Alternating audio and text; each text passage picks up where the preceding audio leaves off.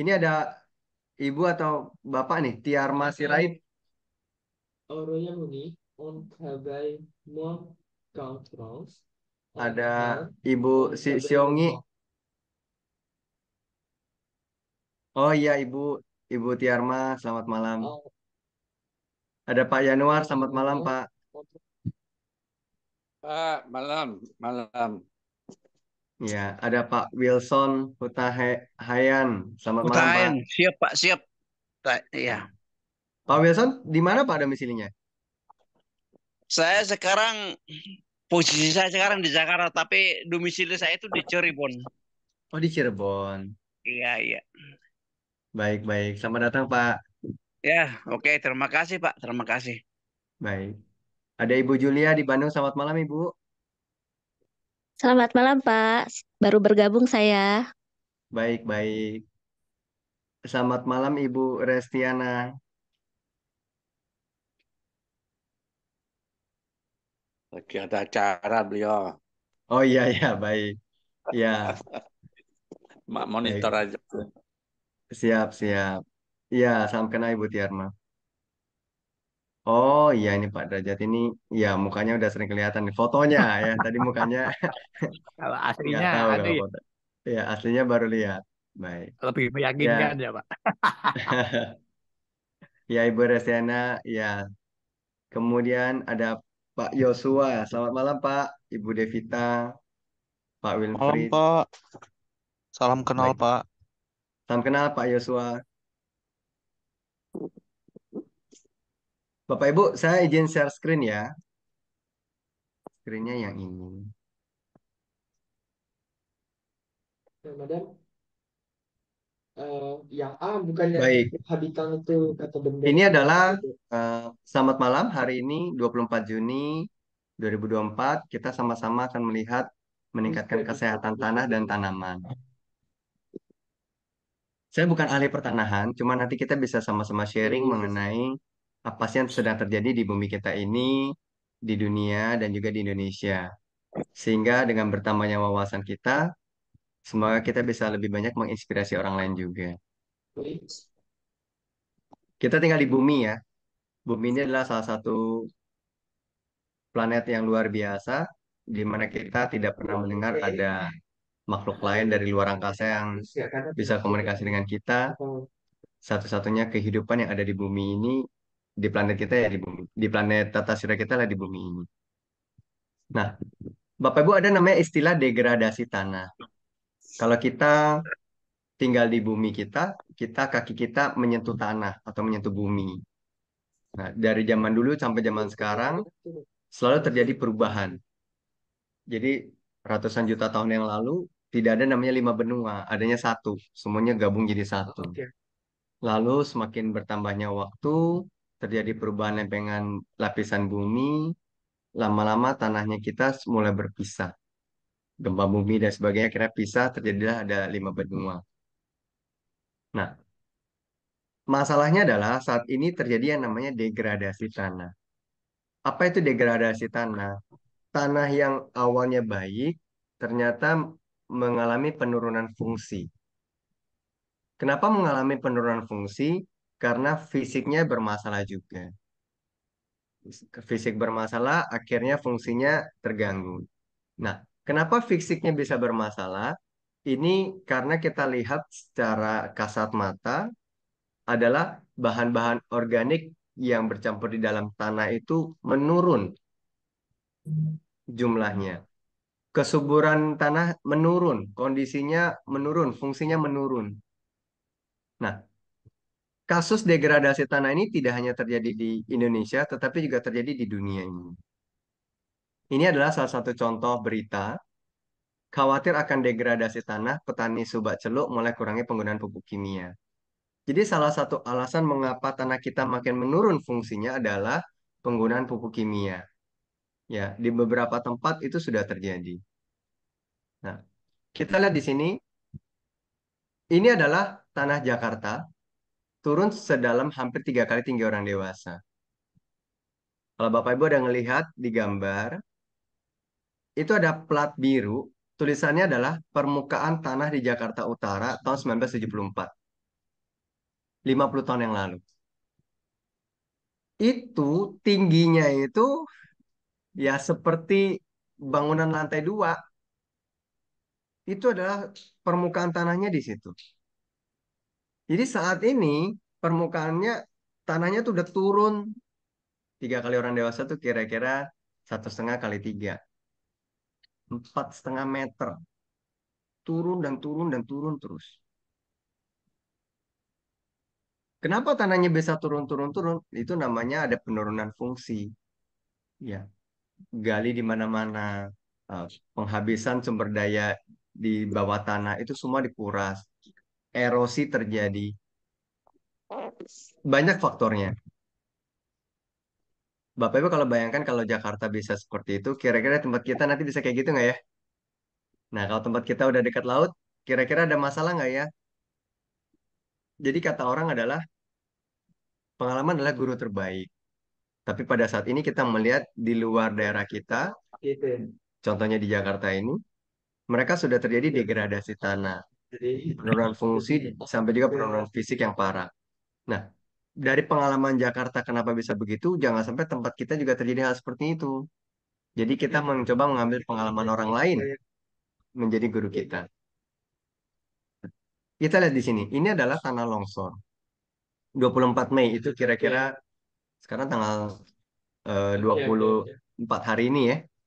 Nah, jadi beberapa jam yang lalu itu sudah ada berita tanah longsor di negara tetangga sebelah kita.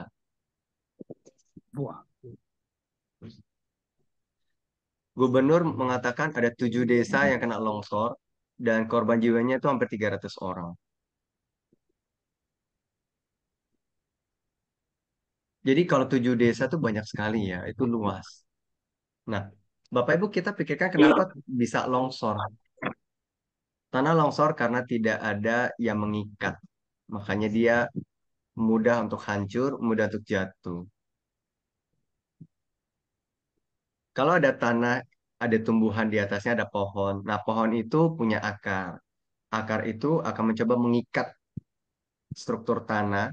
Kalau strukturnya sudah diikat, mau hujan sederas apa pun, maka pohon tetap mencengkram struktur tanah tersebut. Sehingga tidak mudah untuk pecah, tidak mudah untuk menjadi longsor.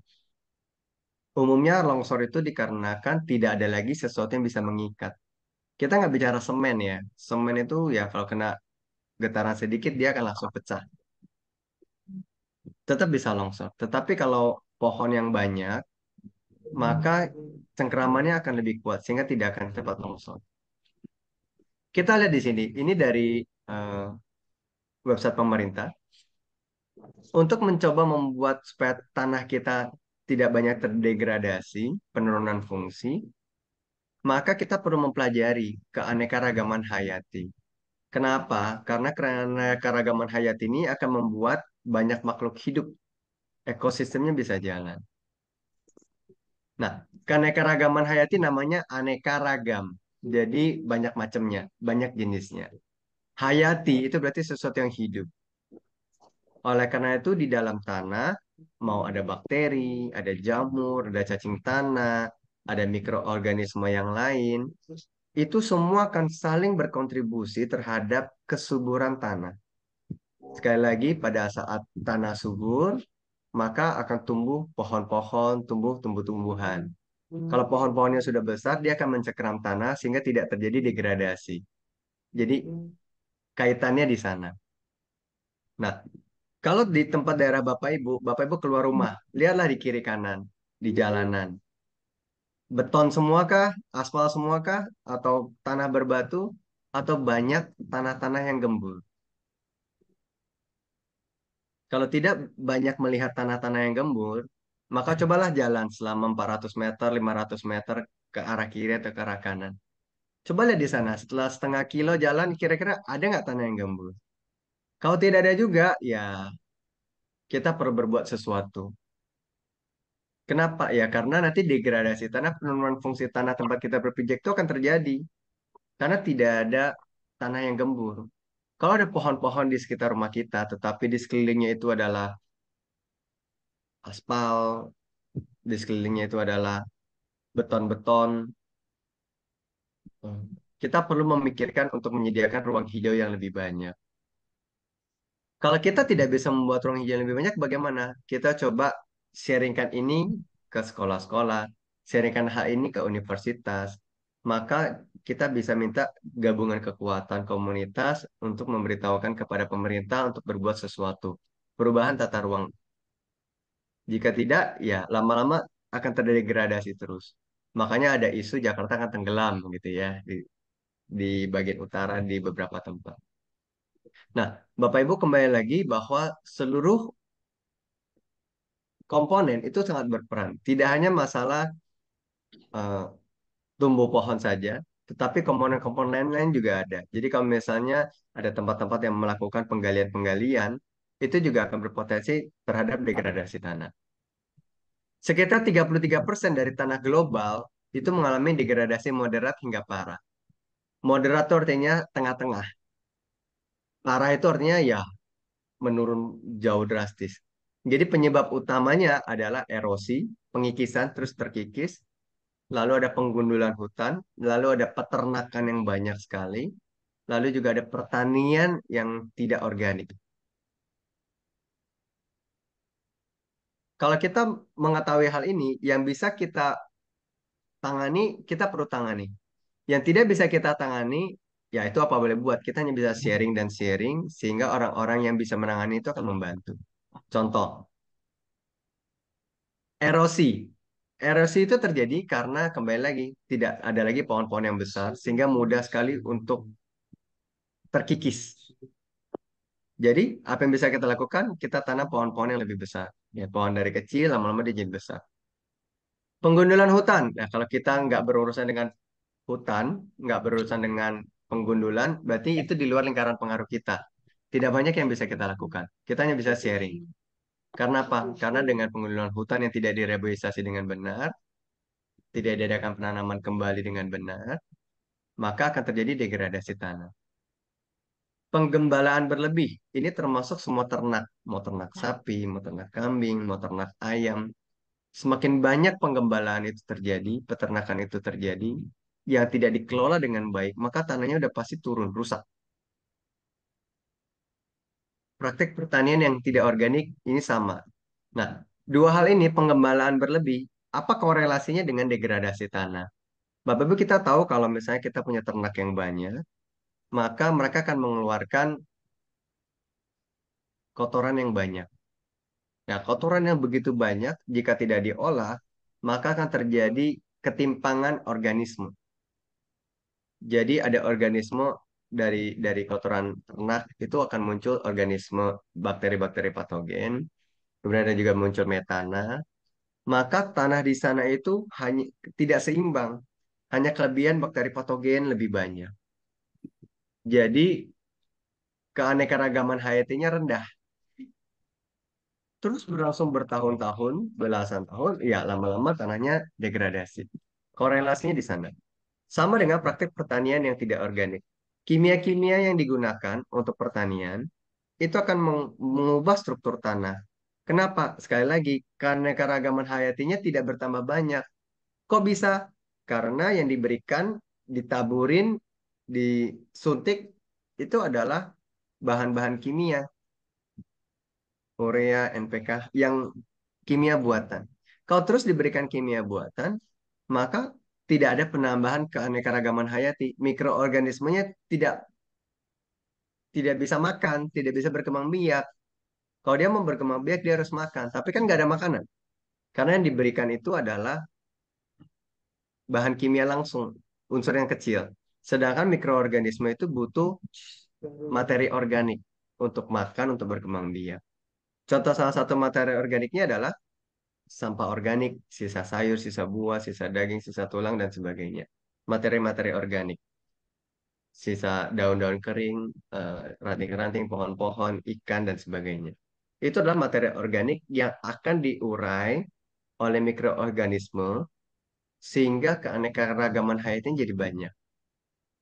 Pada saat kita terus memberikan pertanian yang bahan-bahan kimia berlebih, maka tidak ada lagi yang bisa dimakan oleh mikroorganisme.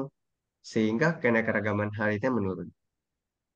Nah, degradasi tanah di Indonesia itu sangat serius, terutama di daerah-daerah dengan kemiringan lereng yang tinggi atau enggak curah hujannya tinggi. Jadi sudah lerengnya, kemiringan lerengnya tinggi itu berarti curam ya, agak curam. Nah, kalau sudah agak curam, lalu pohon-pohonnya sedikit, ya lama-lama bisa erosi.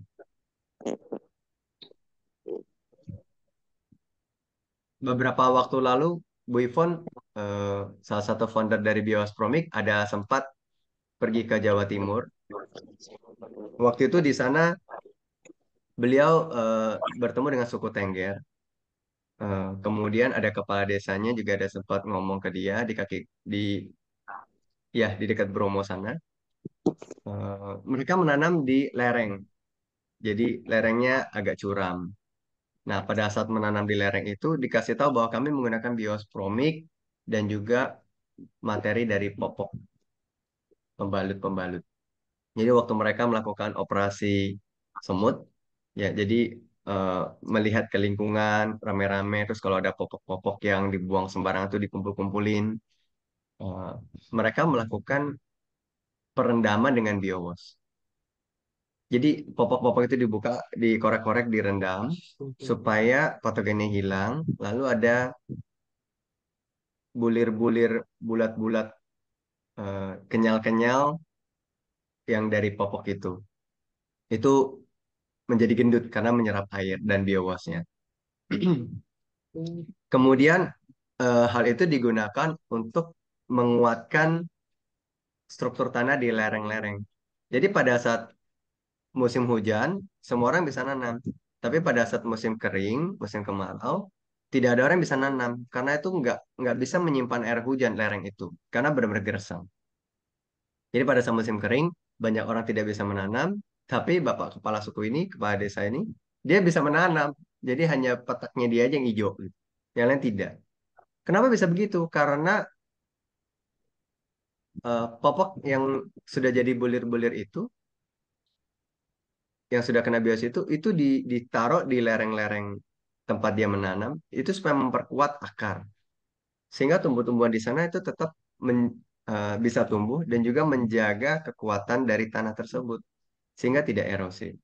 Ini adalah salah satu eh, kolaborasi antara popok dengan biowas itu sendiri. Kalau tanpa ada biowas, maka popok itu menjadi barang berbahaya dan beracun, B3. Ya, karena ada patogennya banyak di situ.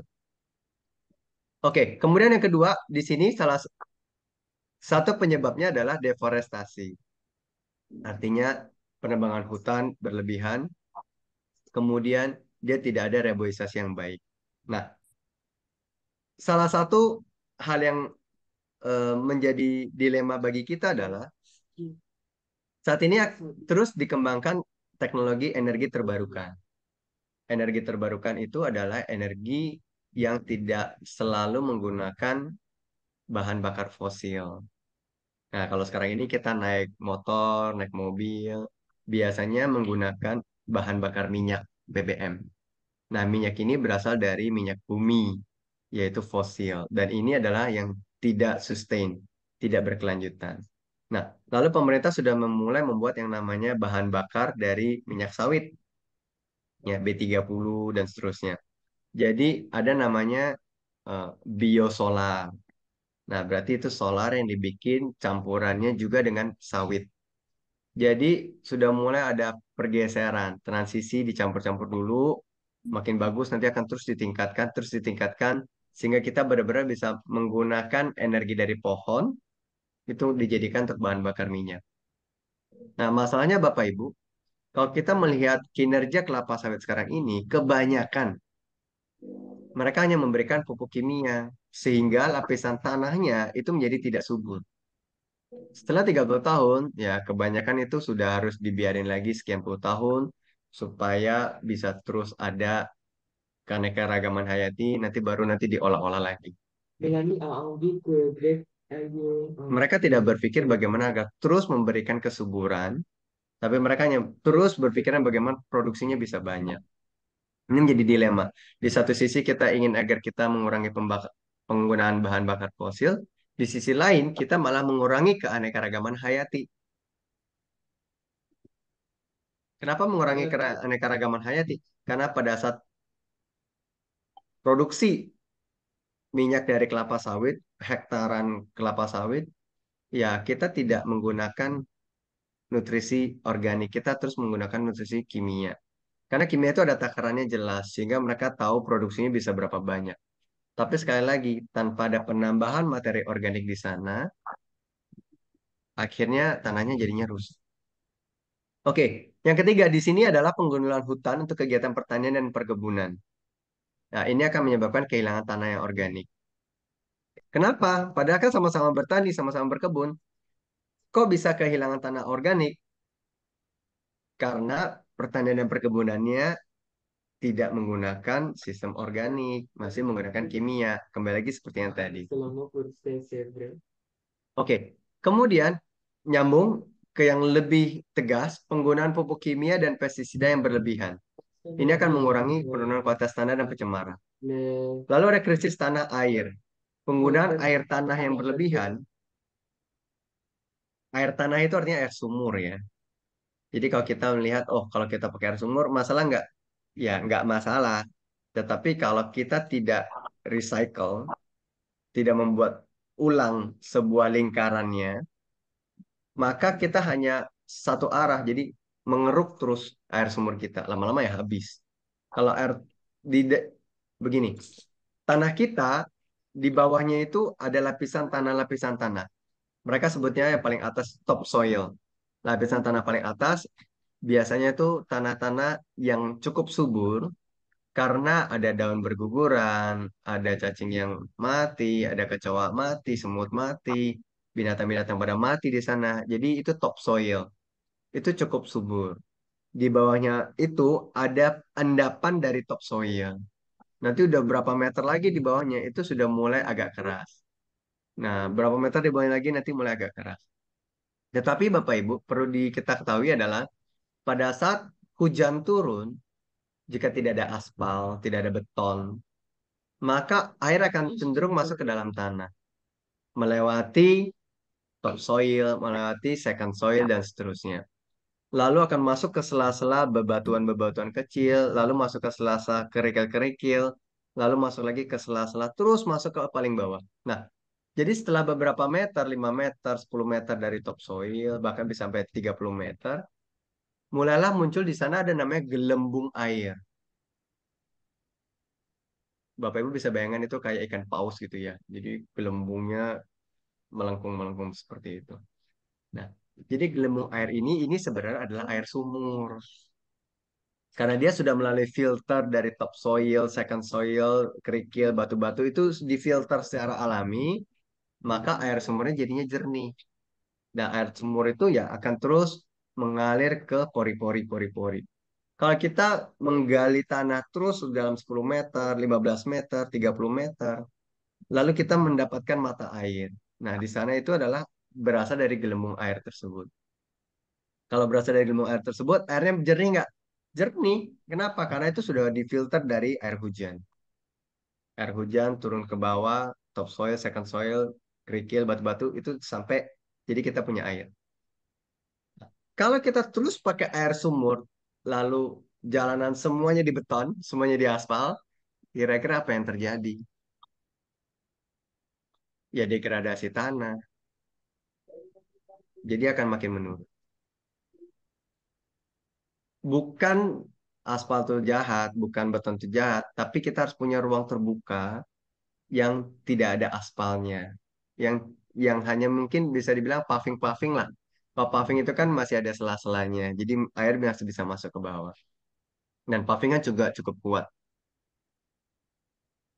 Oke, salinisasi di beberapa daerah pesisir ya, itu ada namanya kepekatan air garam. Ya. Jadi kalau air garam itu bisa mempengaruhi erosi juga. Itu khusus untuk di daerah pinggir-pinggir saja. Nah, solusinya apa Bapak Ibu? Kalau kita ngelihat beberapa hal, kita kembali lagi bahwa kita perlu memiliki solusi yang bisa kita lakukan.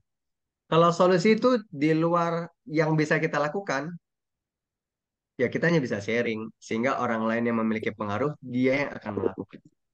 Jadi jangan sampai kita fokusnya adalah wah pokoknya kita harus melarang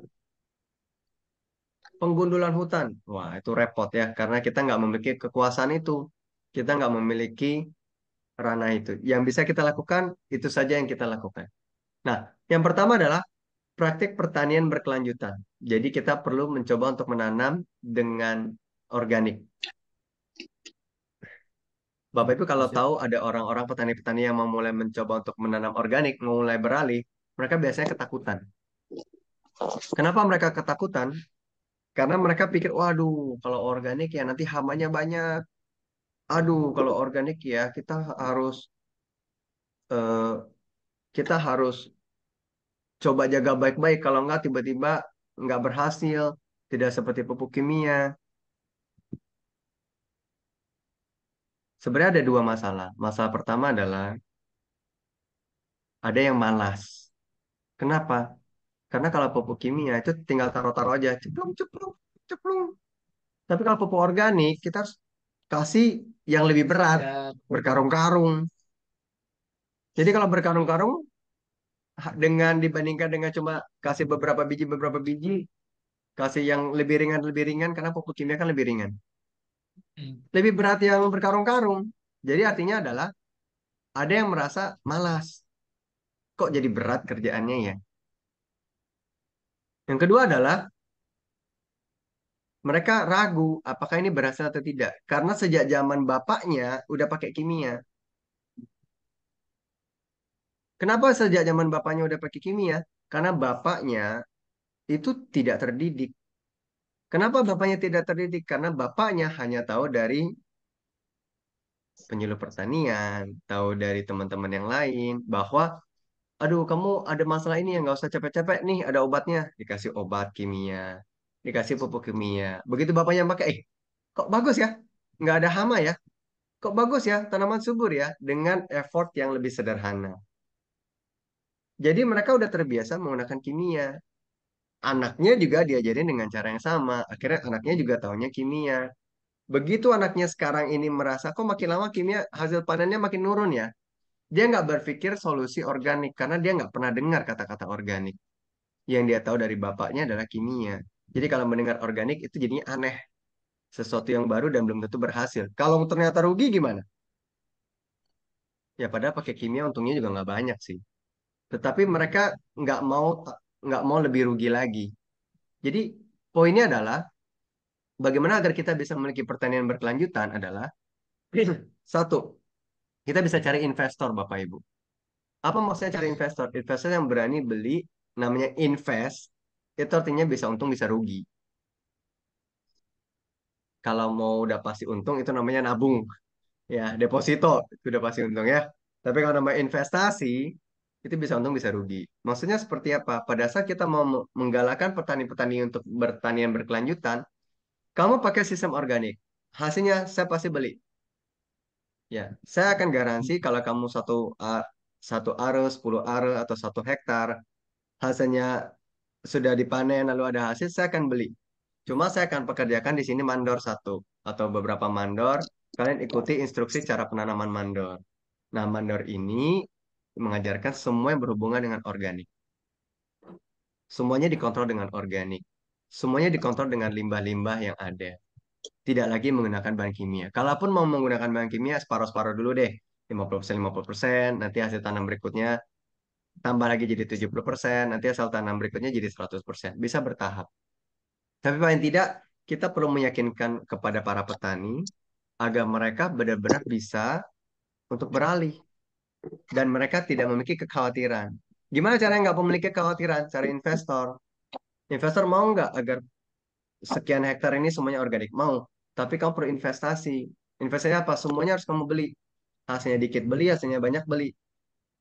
Tapi ini kontraknya bisa lima tahun. Jadi akan selalu akan ada perubahan, siapin mandor yang organik, lalu akan terus tanahnya akhirnya makin makin bagus. Eh, nanti ada MOU dan sebagainya dan sebagainya. Jadi dengan demikian para petani tidak akan takut karena akan selalu dibeli dan dia akan mulai berani ke organik karena sudah ada bukti dan seterusnya. Tanahnya akan dilihat makin lama makin bagus. Indikator tanahnya seperti apa akan kelihatan. Jadi bukan berarti eh, para petani kita tuh nggak mau organik, memang mereka memiliki ketakutan. Jadi nanti kita bisa sharingkan beberapa teknik, beberapa solusi sehingga mereka semua mau beralih. Yang kedua adalah pengelolaan lahan. Penerapan konservasi tanah dan air. Jadi kita buat terasiring, penanaman covering covering crop dan sebagainya. Jadi pengelolaan tanah yang baik adalah selalu membuat keanekaragaman hayatinya banyak. Tanpa ada keanekaragaman hayati yang banyak, itu percuma. Kembali tanah akan kering. Ya. Ketiga adalah rehabilitasi lahan terdegradasi. Maksudnya apa rehabilitasi? Jadi di di rehab, diperbaiki gitu ya. Ya, caranya ya kita tanam lebih banyak pohon, tanam lebih banyak tumbuhan. Dan orang-orang kalau bisa tanam lebih banyak pohon buah. Kenapa? Begitu udah tumbuh besar, ada buahnya. Kan enak, metik-metik, eh, kasih sampah lagi, berbuah lagi, kasih sampah lagi, berbuah lagi. Jadi kalau kita tanam pohon-pohon yang besar, yang biasanya tuh rindang, bagus sih. Ya, cuma biasanya kan nggak ada buahnya. Ya, kalau kita mau tanam pohon-pohon untuk re- reforestasi, penanaman hutan yang lebih banyak, boleh kita pertimbangkan tanam buah. Sehingga bisa dapat buahnya. Oke, kemudian solusi untuk degradasi tanah adalah regulasi dan kebijakan. Ya, Bapak Ibu, salah satu unsur pemerintah itu tidak bisa terlepas dari keseimbangan ini. Artinya pemerintah kalau sudah menggunakan regulasi, aturan, maka banyak hal yang perlu ikut. Yang nggak ikut biasanya akan tidak mendapat fasilitas dari negara. Ya, kalau kita memiliki eh, teman-teman di bidang lingkungan kepemerintahan, eh, kita bisa menjaga hubungan baik dengan mereka, lalu mulai diarahkan mengenai kecintaan terhadap generasi mendatang.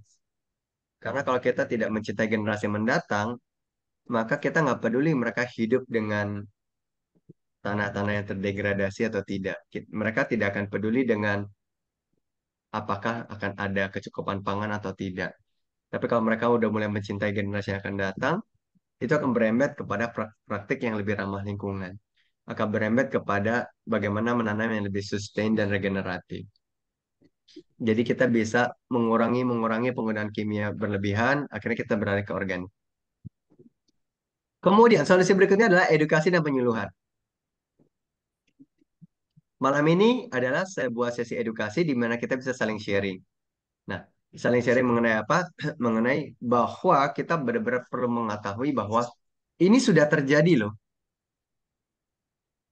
Bapak Ibu kelihatan di sini ya. Ini adalah tahun 2018. Itu artinya hampir lima tahun yang lalu. Itu sudah ada degradasi tanah. Nah, kita lihat ini. Ini sudah dari tahun 1974. Ini sudah 50 tahun yang lalu. Itu juga saat ini sudah terjadi degradasi tanah. Ini kejadian hari ini, 24 Mei. Ini terjadi hari ini, saat ini juga. Jadi yang kita sharingkan saat ini itu bukanlah sebuah perkiraan di masa mendatang. Itu sudah terjadi 50 tahun yang lalu, sudah terjadi 45 tahun yang lalu, dan sudah terjadi hari ini. Pak Juta, saya kan tinggalnya di kota. Kayaknya saya nggak akan menemukan hal-hal kayak gini deh, gitu. Ya nggak juga, emang Jakarta bukan kota. Jakarta ini kota juga. Kota dengan penduduk yang makin lama makin banyak. Ya, sudah belasan juta orang lalu lalang setiap harinya di Jakarta. Di tempat kita mungkin cuma 600 ribu orang, mungkin cuma satu juta orang. Tetapi semakin lama penduduk itu akan semakin banyak. Jika kita tidak mulai mengedukasi teman-teman kita, kita perlu loh untuk menjaga tanah kita. Maka ini bahaya sekali. Ya, pengalaman Jakarta nanti akan jadi terjadi di pada diri kita. Nah, edukasi ini, Bapak Ibu, ini adalah edukasi yang sangat umum, tetapi kita perlu memiliki solusi yang lebih praktis. Jadi, kalau tadi kita mendengarkan bahwa penurunan keanekaragaman hayati itu menjadi poin utama dari degradasi. Sesuatu yang bisa kita pengaruhi adalah bagaimana kita menambahkan keanekaragaman hayati kita. Nah, Apa yang bisa kita tambahkan? Terutama nggak mungkin dong kita menciptakan tanah sendiri. Kita eh, buat pupuk yang banyak karena lalu kita tuangin semuanya. Karena kan kita kan nggak memiliki banyak materi organik. Kita siapin bertonton nggak bisa. Tapi yang bisa kita lakukan ada apa? Yang bisa kita lakukan adalah kita ambil sesuatu dari rumah kita yang kita nggak pakai dan ubahlah itu supaya bisa berdampak pada regenerasi tanah. Degradasi kita switch dengan regenerasi. Nah, apa yang di rumah tangga ini kita sering buang? Kita sering buang itu adalah sampah organik rumah tangga. Biowaspromik itu adalah gerakan mengubah sampah organik rumah tangga ini menjadi sumber nutrisi tanaman dalam satu detik. Nah, ini adalah Ibu Yvonne. Nah, beliau adalah salah satu founder dari Promik. Biowaspromik ini diedukasi di, oleh beliau. Lalu kita juga masuk ke dalam ajang untuk pengelolaan UKM IKM inovatif dan mendapatkan predikat terbaik satu di Provinsi Sumatera Selatan. Mendobrak jalan buntu permasalahan sampah dengan biospromik. Kenapa bisa begitu? Karena dengan biospromik kita bisa langsung mengubah sampah organik rumah tangga kita dengan waktu yang super cepat. Ya, sekali semprot udah langsung jadi media tanam. Nggak perlu ditunggu lama, nggak perlu khawatir akan ada bau busuk, tidak perlu khawatir mengundang lalat, nggak perlu tenaga kerja yang aneh-aneh, sederhana dan areanya juga nggak banyak. Begitu ada sampah kita olah satu sekali siram kita udah langsung gunakan. Jadi nggak perlu ada tempat penyimpanan. Nah, uniknya apa? Uniknya adalah semua limbah-limbah organik yang biasanya panas, yang biasanya bisa menghasilkan bau busuk, yang biasanya mengundang lalat, itu semua tidak ada lagi. seketika bisa digunakan tidak menunggu berminggu-minggu. Jadi 3 ton sampah organik bisa dengan hanya 5 liter biosporomik aja. Ini sangat efisien. Nah, ini adalah video olah sampahnya.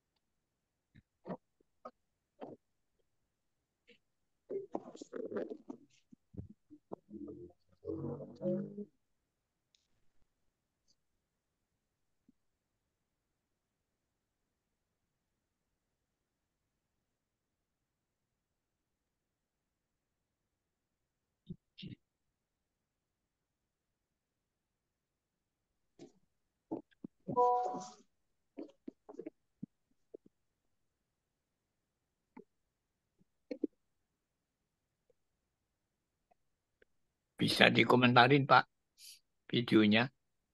Baik. Saya kedengaran ya?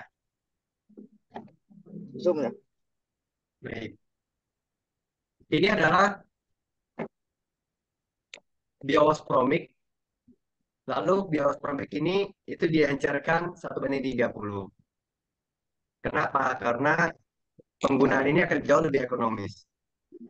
Kemudian kita bisa melihat ini begitu banyak sampah-sampah organik rumah tangga campur. Ya, ada yang sudah dimasak, ada yang belum dimasak. Ya, jadi kita siramnya secara merata sampah-sampah organik ini. Kan ini kebetulan ada setengah ember ya. Jadi kita coba aduk-aduk sedikit biar merata. Kalau misalnya kita ada melihat ada bongkolan ini, misalnya ada tomat, maka bagian dalamnya belum kena biowas kalau dari luar doang. Jadi kita hancur-hancurin. Sehingga bagian dalamnya juga kena biowas promik. Nah, kalau ternyata kurang airnya, ya kita bisa siramin lagi. Jadi kalau Bapak Ibu punya ember, kira-kira seperti ini. Tapi kalau nggak punya ember, adanya satu gepok, uh, satu satu gepok tangan, ya kita tinggal semprotin aja secara merata, langsung kita taruh menjadi media tanam. Kalau Bapak Ibu lihat, lah ini setelah dikenain dilumuri semuanya dengan bioskomik, langsung begitu saja ditanam. Sudah begitu aja. Iya, nggak perlu dipotong-potong, nggak perlu. Nggak perlu ditungguin beberapa hari, nggak perlu. Jadi kita bisa menggunakan yang sudah dimasak. Ya, ini seperti di ini ada minyak-minyak mie. Itu yang sudah dimasak bisa. Nasi sisa yang sudah dimasak bisa.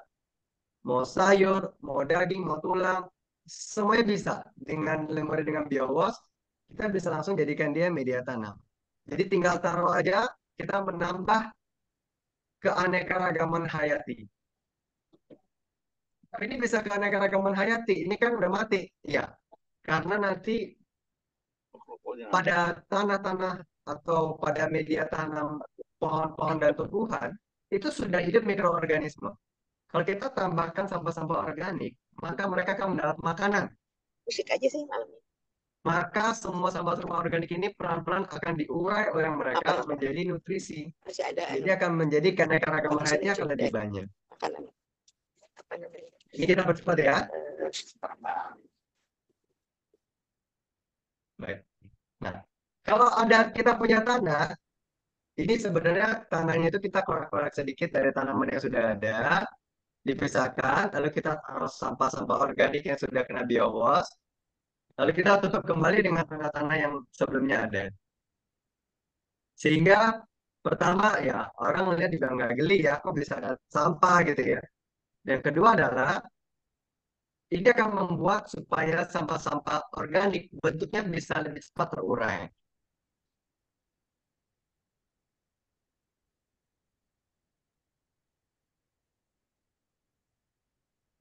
Hasilnya seperti ini. Jadi begitu udah disemprotin dengan bioformic encer atau direndam atau disiram, maka kita udah bisa langsung jadikan dia sebagai media tanam.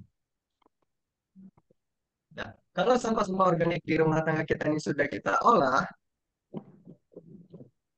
artinya kan kita tidak lagi membuang, tapi kita mengolah, mengelola. Ya, ini pakai tumbuh tunas-tunas barunya. Nah, jadi Bapak Ibu, contoh sederhananya, ini ada sampah, dikumpulkan di dalam pot, nggak di ember ya, yang ini di pot.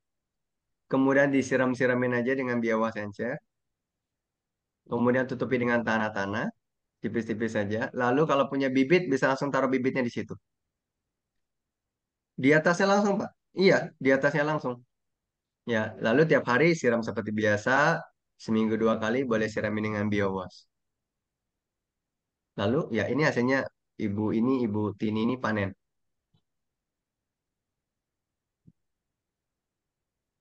Oke, sinyalnya sering mati hidup. Bapak Ibu, suara saya terdengar masih terdengar jelas? Masih, masih. Masih ya, Pak ya? Bagus, Baik, bagus. saya lanjutkan ya. Baik. Nah, hasil tanaman dengan olah sampah satu detik biosporomik. Ujung sebelah kiri, Bapak Ibu, ini adalah hortikultura, yaitu sayur-sayuran. Jadi biosporomik itu bisa mengelola sampah-sampah organik rumah tangga, termasuk juga sampah-sampah kotoran hewan rumah tangga, termasuk juga sampah kotoran hewan ternak, yang masih baru boleh, masih bekas boleh, bebas. Yang sudah bekas atau masih baru boleh. Itu tinggal diolah semuanya menjadi media tanam untuk tanaman, hortikultura. Mau pare juga bisa. Mau sebelah kanannya adalah pohon nangka. Jadi pohonnya itu makin lama makin berbuah lebih banyak. Jadi batang keras juga bisa. Di bawahnya juga ada tanaman buah dalam pot. Ya. Kemudian juga ada serikaya yang besar sekali. Kemudian ada pohon pepaya banyak sekali. Microgreen juga bisa. Tanaman hias ini juga bisa. Ya. Sebelah kiri ini adalah durian ya. Jadi kulit durian ini itu di atasnya sudah bisa tumbuh kangkung. Sudah ada tumbuh tanamannya. Padahal itu kulit durian yang keras ya waktu di kebun kami awal-awal memang tanahnya jelek banget, lalu kita ubah menjadi lebih baik. Nah, biawas promik yang sudah ada itu diencerkan satu banding 30, ditambahin air. Jadi kalau satu liter biawas promik tambahkan 30 liter air. Ya mau 100 ml juga boleh, nanti tinggal ditambahkan, ditambahkan boleh, bebas. Cuma perbandingannya sama, satu banding 30. Lalu ada sisa makanan, kulit buah, akar sayur, sisa nasi, sisa tahu, sisa tempe, sisa ikan, ah, sisa daging, sisa mie. Itu semua boleh disiram aja secara merata, lalu kita jadikan media tanam seperti video tadi. Nah, Bapak Ibu, di sini bios Promik itu di marketplace itu harganya 60.000. Dan 60.000 ini satu liter dia bisa mengolah hingga 600 kg sampah. Jadi kalau kita hitung-hitung, ternyata satu kilogram sampah itu sekitar 100 rupiah biaya mengelolanya.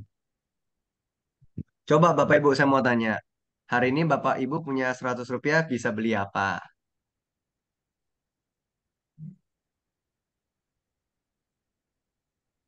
Permen ada nggak 100 rupiah? Kayaknya nggak tahu ya. Sudah kita sudah jarang menggunakan uang 100 rupiah sendirian. Biasanya di teman-teman ini keliling-keliling 500 ribu dikumpulin jadi satu kita bayar sesuatu. Tapi 100 rupiah kita bisa mengelola satu kilogram sampah Bapak Ibu. Jadi kalau kebutuhan rumah tangga Bapak Ibu dan dua orang anak, sampahnya itu bisa saja ada 2 kilo atau enggak satu setengah kilo satu hari. Nah organiknya itu bisa 60%. Jadi kira-kira bisa ada satu kilo sampah organik ataupun bisa 700 gram sampah organik satu keluarga. Jadi kalau kita mau mengelola sampah organik di rumah tangga kita, itu cuma keluar biayanya 100 rupiah. Ini murah sekali. Nah, kalau 100 rupiah ini 10 kilogram kita olah berarti itu bisa 1000 rupiah. Nah, Bapak Ibu kalau misalnya parkir bayar berapa Bapak Ibu di kota Bapak Ibu? Di sini ada siapa ya? Pak Wilson. Pak Wilson kalau di sana parkir bayarnya berapa Pak? 2000 Pak. 2000 ya? Baik. Iya. 2000 rupiah sekali parkir. Itu berarti kendaraan motor atau mobil, Pak? Motor, motor. Oh, motor. Baik, baik. Kemudian di sini ada Ibu siapa? nih? Anindya Raihana. Ibu, izin tanya, Bu. Kalau di sana bayar parkir berapa ya, Bu ya sehari? Sekali parkir? 2000 sama 2000.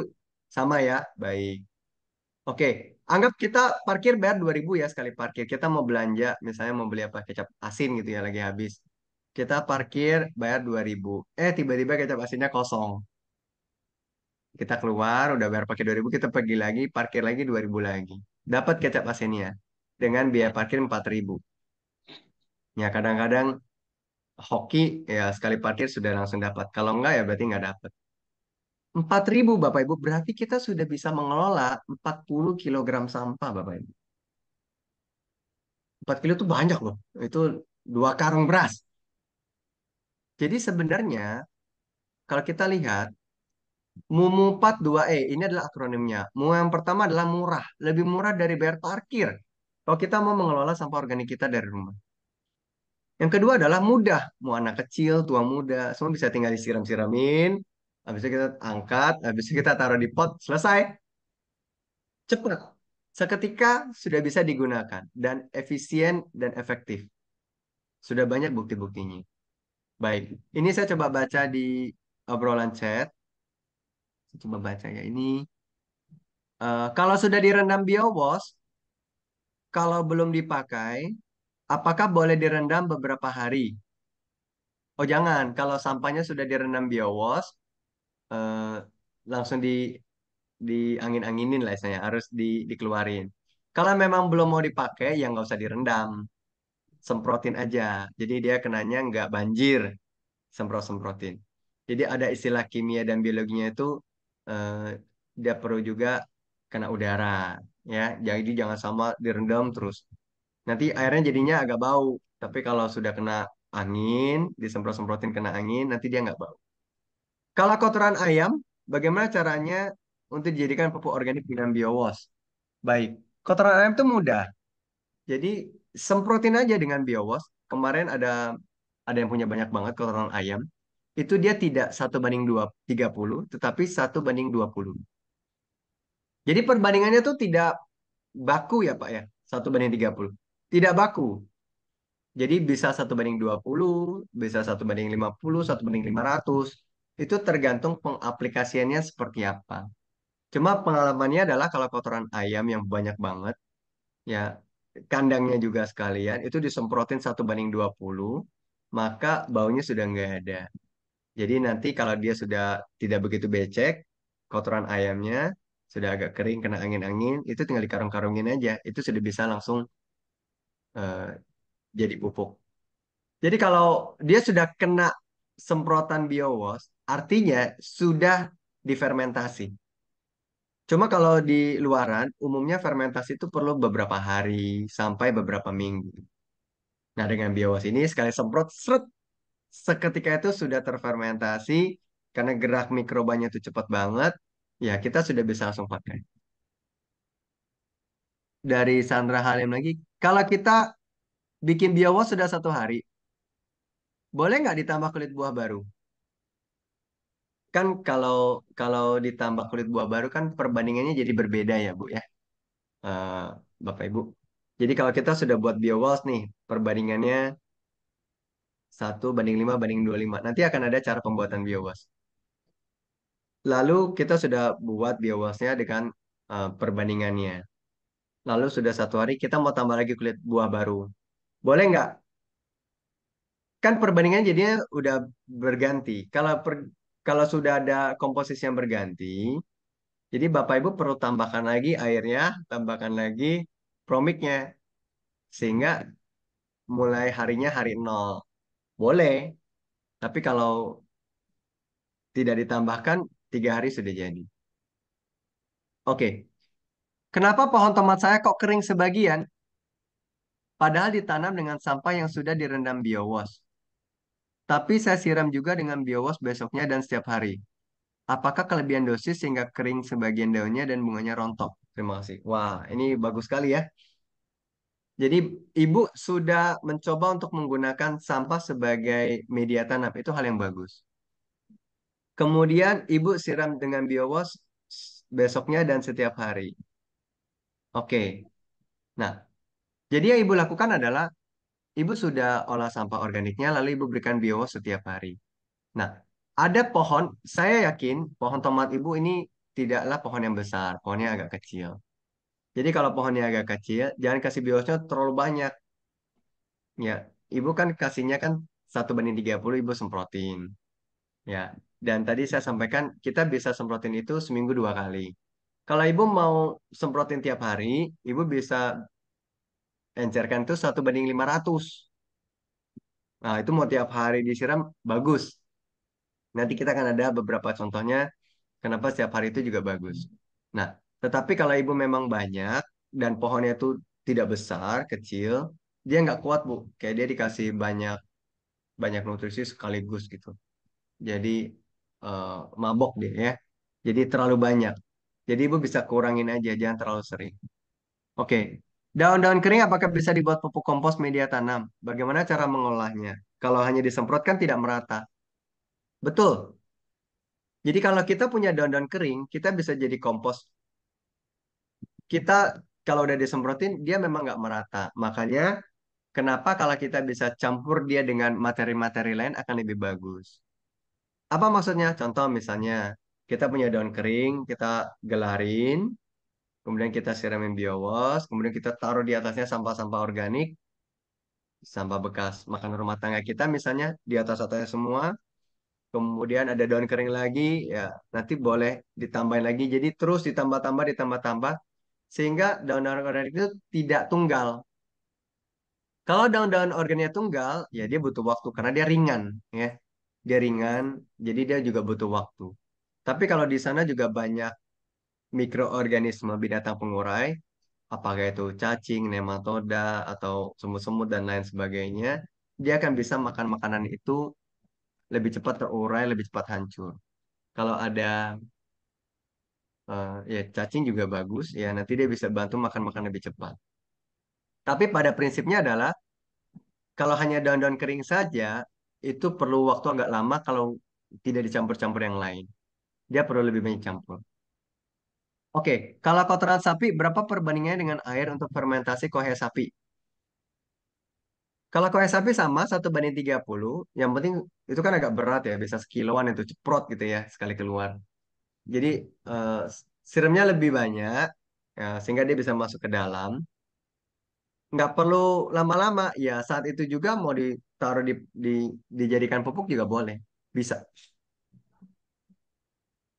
Oke, bagaimana cara membuat biowas? Nah, caranya seperti ini. Kita butuh starter yang namanya Promik, jadi 200 ml Promik. Kemudian 5 liter air, apa aja boleh. Air sumur, air minum, air pump, air got, eh, air laut, bebas. ya.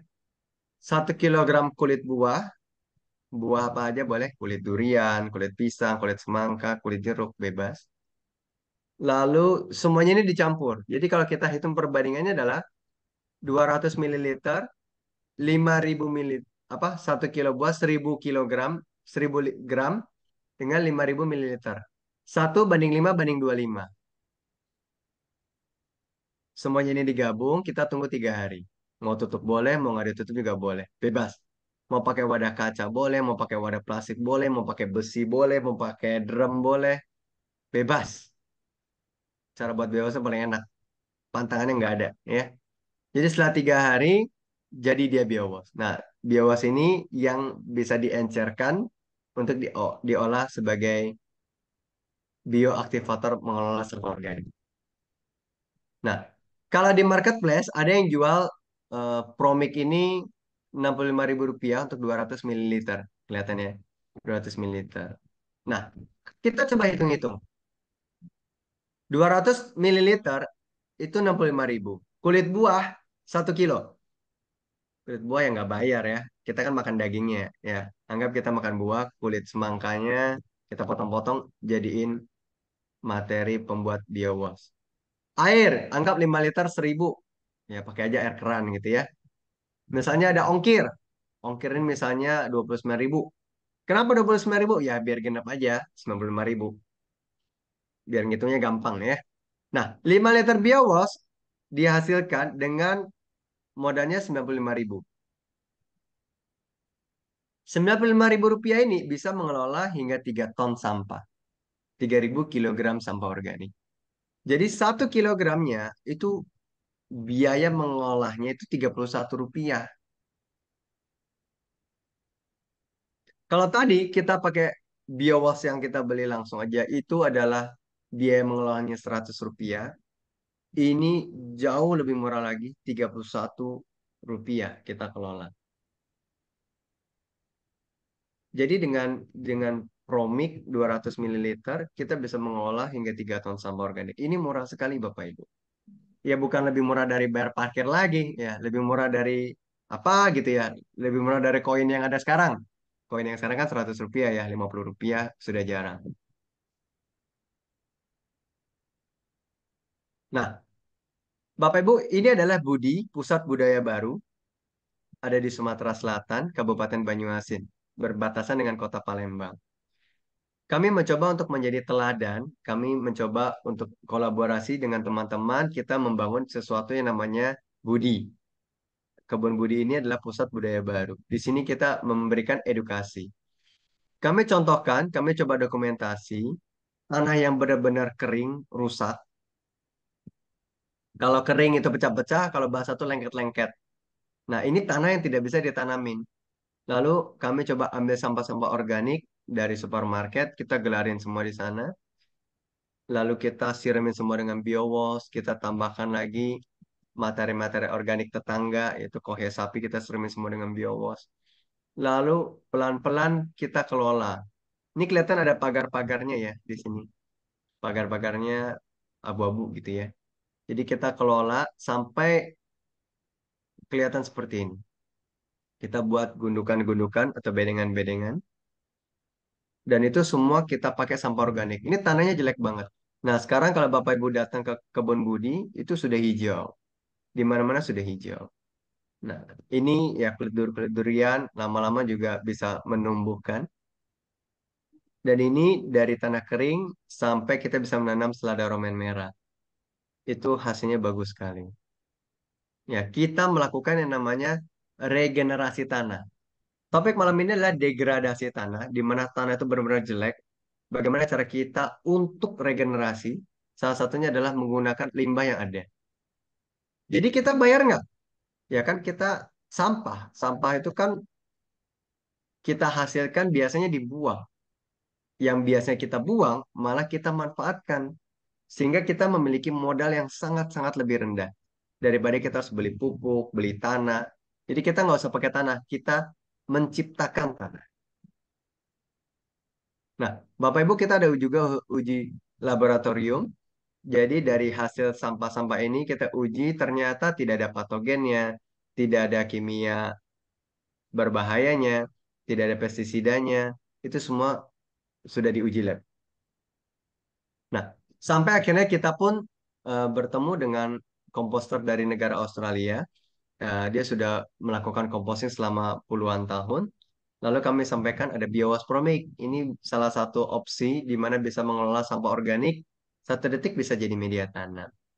Beliau merasa ini adalah hal yang unik. Sehingga kami sampaikan, datanglah ke kebun Budi. Dan akhirnya beliau pun datang. Namanya Mr. Andrew. Ya, Mr. Andrew dia pun kami uh, ajarkan bagaimana cara mengelola sampah-sampah organiknya, bagaimana cara pertanian secara organiknya. Nah, lalu dia coba ambil panen sendiri, dia coba langsung makan, bahkan tai sapinya jadi langsung pegang, dia langsung endus-endus gitu. Dia nggak takut jorok deh gitu. Ya, tetapi ya komposter adalah kembali ke alam. Bagaimana cara kita untuk mendekatkan diri dengan siklus di alam ini. Sehingga beliau merasa ini menarik. Oke, saya akan coba sendiri. Dia juga ambil produknya, dia bawa pergi ke Australia, ke Byron Bay. Di sana dia coba lakukan juga pengomposan dan hasilnya juga sama bagusnya. Akhirnya beliau berkata, oke kita akan kerjasama, kita kolaborasi. Beliau pun membangun yang namanya Garden Ship. Garden Ship ini sudah dibangun. Dan Garden Ship ini dia menggunakan vermicompost, yaitu cacing. Sebelah kanan ini Bapak Ibu bisa lihat ya. Inilah cacing, itu gendut-gendut gede-gede karena kita pakai biowas. Ya, beliau belinya di Lampung. Waktu itu yang datang-datang kecil-kecil. Ya, setengah setengah kelingking lah ya, perutnya kecil. Tapi begitu kena biowas jadinya lebih gendut-gendut. Bahkan dari Lampung sendiri mereka beli biowas ke kita karena cacingnya gede-gede. Ya, oke. Tumbuhnya lebih subur. Kenapa beliau memakai cacing? Karena sekali lagi bahwa biowas itu bukan mengurai langsung, tapi biowas itu bagaimana mengubah nutrisinya biar bisa diserap tanaman. Jadi kami tidak bilang kami mengubah fisiknya langsung ting, langsung jadi kayak tanah gitu. Enggak ya. Jadi tetap perlu ada mikroorganisme lain yang mengubahnya menjadi tanah. Nah, kalau kita lihat, dia menggunakan garden seed yaitu sebuah rumah kompos. Yang kami lakukan di kebun budi adalah kami langsung gelarin ke tanah. Jadi mana yang lebih cepat berubah fisiknya? Tentu yang di rumah kompos. Karena dia udah langsung siapin cacingnya. Kalau di tanah kan belum tentu ada cacingnya, belum tentu banyak mikroorganismenya. Ada, tapi nggak banyak. Nggak sebanyak yang budidayakan cacing langsung. Sehingga dari dari kadensi pun kami hasilkan casting. Casting itu adalah sebuah istilah kotoran cacing dari pembudidayaan vermicompost. Jadi pembuatan kompos, membudidayakan cacing di sana, cacingnya makan semua materi organiknya, materi organiknya itu setelah dimakan dia BAB, keluarin-keluarin. Nah, yang dia keluarin itu adalah pupuk organik yang powerful, yang sangat bernutrisi. Yang kita pegang-pegang, wah ini kayaknya pupuknya bagus nih. Pada ini kotoran cacing gitu ya. Tapi kita membangga-banggakan unsur hara ini. Nah, cacing itu pun sekarang kami udah kemas, kami jual. Jadi Bapak Ibu nggak masalah Bapak Ibu kalau nggak punya cacing gimana? Nggak punya cacing. Ya pakai sampah-sampah organik yang ada. Kalau Ibu mau, Ibu tinggal beli mesin caca, dicacahin semuanya sambil dikasih biowas, nanti tinggal dikeringkan, langsung di packing. Bisa. Mau dibikin granul segala macam, itu teknik-teknik selanjutnya bisa diatur. Yang jelas kita nggak perlu fermentasi berminggu-minggu, berhari-hari. Kelihatan di sini, ini adalah pupuk Sriwijaya Palembang. Jadi setelah kita membangun garden seed, kita ada ke media massa, lalu dari pupuk Sriwijaya melihat ini sustainable, regeneratif, akhirnya garden seed pun dibangun satu unit di komplek pupuk Sriwijaya Palembang. Kemudian setelah beberapa waktu dia pesan lagi, dia bangun lagi di komplek di Canton. Jadi dia sudah punya dua unit gardenship. Ya. Oke. Bapak Ibu, ini adalah sebuah quote dari Confucius. Jika kita ingin merencanakan sesuatu itu berlangsung selama satu tahun, maka kita tanamlah padi. Jika kita ingin merencanakan sesuatu itu selama 10 tahun, maka kita tanamlah pohon. Karena pohon kan butuh waktu berbuah. Jika kita ingin merencanakan selama 100 tahun, perencanaan kita ini bisa berlangsung selama 100 tahun, maka kita perlu mengedukasi. Mulai dari anak-anak, mulai dari generasi berikutnya. Itulah yang salah satunya dilakukan oleh Kebun Budi. Kami mencoba mengedukasi generasi-generasi muda, generasi-generasi yang masih kecil juga ada. Ya, ini adalah dari Ada uh, ya, ada. pesantren. Jadi dari pesantren itu kita coba untuk uh, ajarkan bagaimana cara mengelola sampah-sampah organik ini. Kemudian uh, selama 30 hari full, tiap hari mereka datang ya, kecuali hari Minggu. Kemudian ini juga ada anak-anak dari Sekolah Alam Sriwijaya. Kemudian kami juga diundang uh, untuk memberikan pelatihan-pelatihan bagaimana mengolah sampah organik di SMP. Kemudian ini juga ada kunjungan mahasiswa datang ke Garden Ship, datang ke Kebun Budi. Ini mahasiswa S2 ya, dari Universitas Sriwijaya, Palembang. Kemudian kami juga diundang oleh uh, PTPN, UPKS TASA. Jadi ini adalah BUMN ya. Jadi mencoba untuk mengedukasi desa-desa di sekitarnya. Kemudian ini juga kita diundang juga dari PT Semen Batu Raja untuk pelatihan buat biospromik. Seharian kita belajar di sana. Nah, ini di Garden Ship.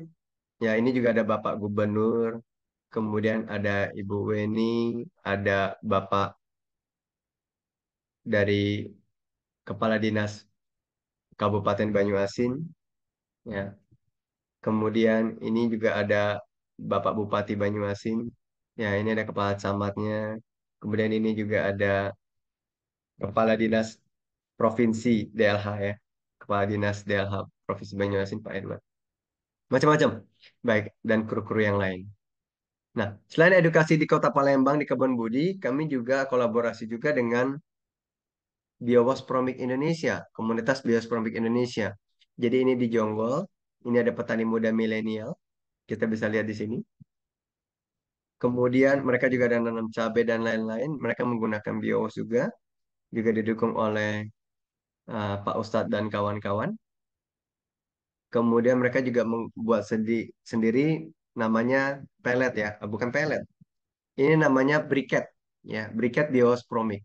Jadi mereka punya masalah apa di sana? Oh, ternyata mereka punya masalah banyak kotoran hewan, banyak sekam. Ya udah, dari masalah itu kita buat sesuatu. Jadi Bapak Ibu di daerah masing-masing itu punya masalah masing-masing. Tadi ada yang punya masalah kotoran ayam. Berarti kan masalahnya di kotoran ayam, bukan kotoran sapi seperti di sini. Sehingga kita urusin bagaimana caranya kotoran ayam itu beres. Nah, di tempat lain punya masalah yang lain, kita dengan limbah-limbah yang ada, kita bereskan masalah itu. Kita bisa juga buat produksi yang baru. Nah, sekali lagi akronimnya adalah MUMUPAT 2E. Murah, lebih murah dari bayar parkir. Mudah, mau anak kecil, tua muda semuanya bisa. Cepat, memupat, cepat, seketika sudah bisa digunakan. Efisien, tidak harus dipotong kecil-kecil, dan efektif, sudah banyak bukti yang berhasil. Bahkan bisa lebih dari sekedar untuk membuat media tanam. Ini, seperti yang tadi saya contohkan, tadi kan yang di uh, di Jawa Timur ya, suku Tengger. Kalau ini yang di Pulau Batam, ya ini jauh di barat sana. Jadi di Pulau Batam ini juga ada dia nggak operasi semut ya, dia panti jompo yang punya opa dan oma yang punya popok. Jadi popoknya ini dibuka, nggak disuir-suir ya. Kalau tadi kan disuir-suir dia ambilin gel-gelnya. Kalau yang ini dia tidak suir-suir, dia buka-buka aja. Kemudian di sana juga banyak sekali uh, daun kering yang sering dibakar sama petugas eh, kebersihan komplek sehingga kata yang punya Pati Jompo ini Ibu Poni dia bilang jangan dibakar lagi ya. Ini apa namanya batu-batu terus kena asap. Jadi kumpulin aja di sini. Jadi dikumpulin dikumpulin langsung ditebarin di atasnya popok. Kemudian di sana juga ada eh, pelepah pisang ya dicacah-cacah ditambahin lagi di sana. Kemudian disiram-siramin aja ya daun-daunnya ditaruh di sana kemudian dibatasin supaya nggak melebar kena hujan dibatasin dengan batok kelapa. Nah langsung dia tanamin di sana eh, bibit sayur ya. Waktu itu dia tanam bayam Brazil di sana. Jadi tumbuh sayurnya mereka makan juga nggak apa-apa. Dan setelah enam minggu popoknya itu tinggal lapisan tipis plastik aja yang waterproof. Nah bapak ibu bisa bayangkan bahwa popok aja bisa di dijadiin sumber nutrisi loh Ya, ya tentu ditambah yang lain. Tentu ada daun-daun keringnya, ada pelepah pisangnya. Tetapi kita tidak buang sampah lagi, sampah-sampah pokok ini. Ini akan membantu kita. Nah, menanam di atas beton pun jadi. Jadi kalau kita, aduh saya nggak punya tanah, saya nggak punya lahan. Justru kita membuat, create tanah. Kita nggak making, tapi kita create. ya. Jadi kita regenerasi tanah.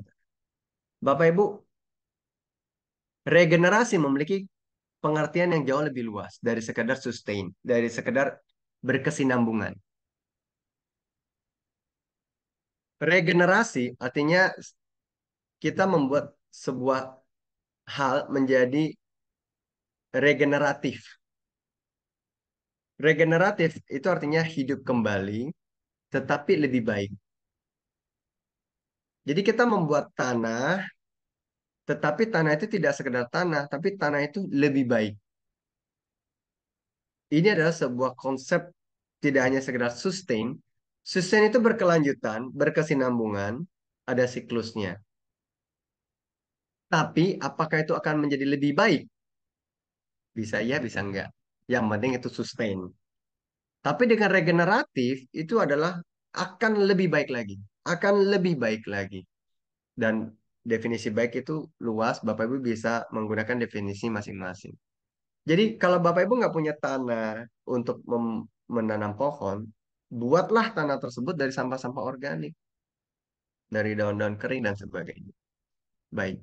Ini adalah uh, tanaman yang tumbuh sendiri tanpa dikasih bibit. Ya, dia olah sampah tiba-tiba tanamannya tumbuh sendiri. Oke, kemudian ini sebelah kanan juga dari Bali. Uh, beliau juga sudah menggunakan uh, biowas untuk pertanian dan hasilnya bagus. Ini anggur umur hampir lima tahun, nggak pernah berbuah, hanya daunnya lebat. Sudah lima tahun ya.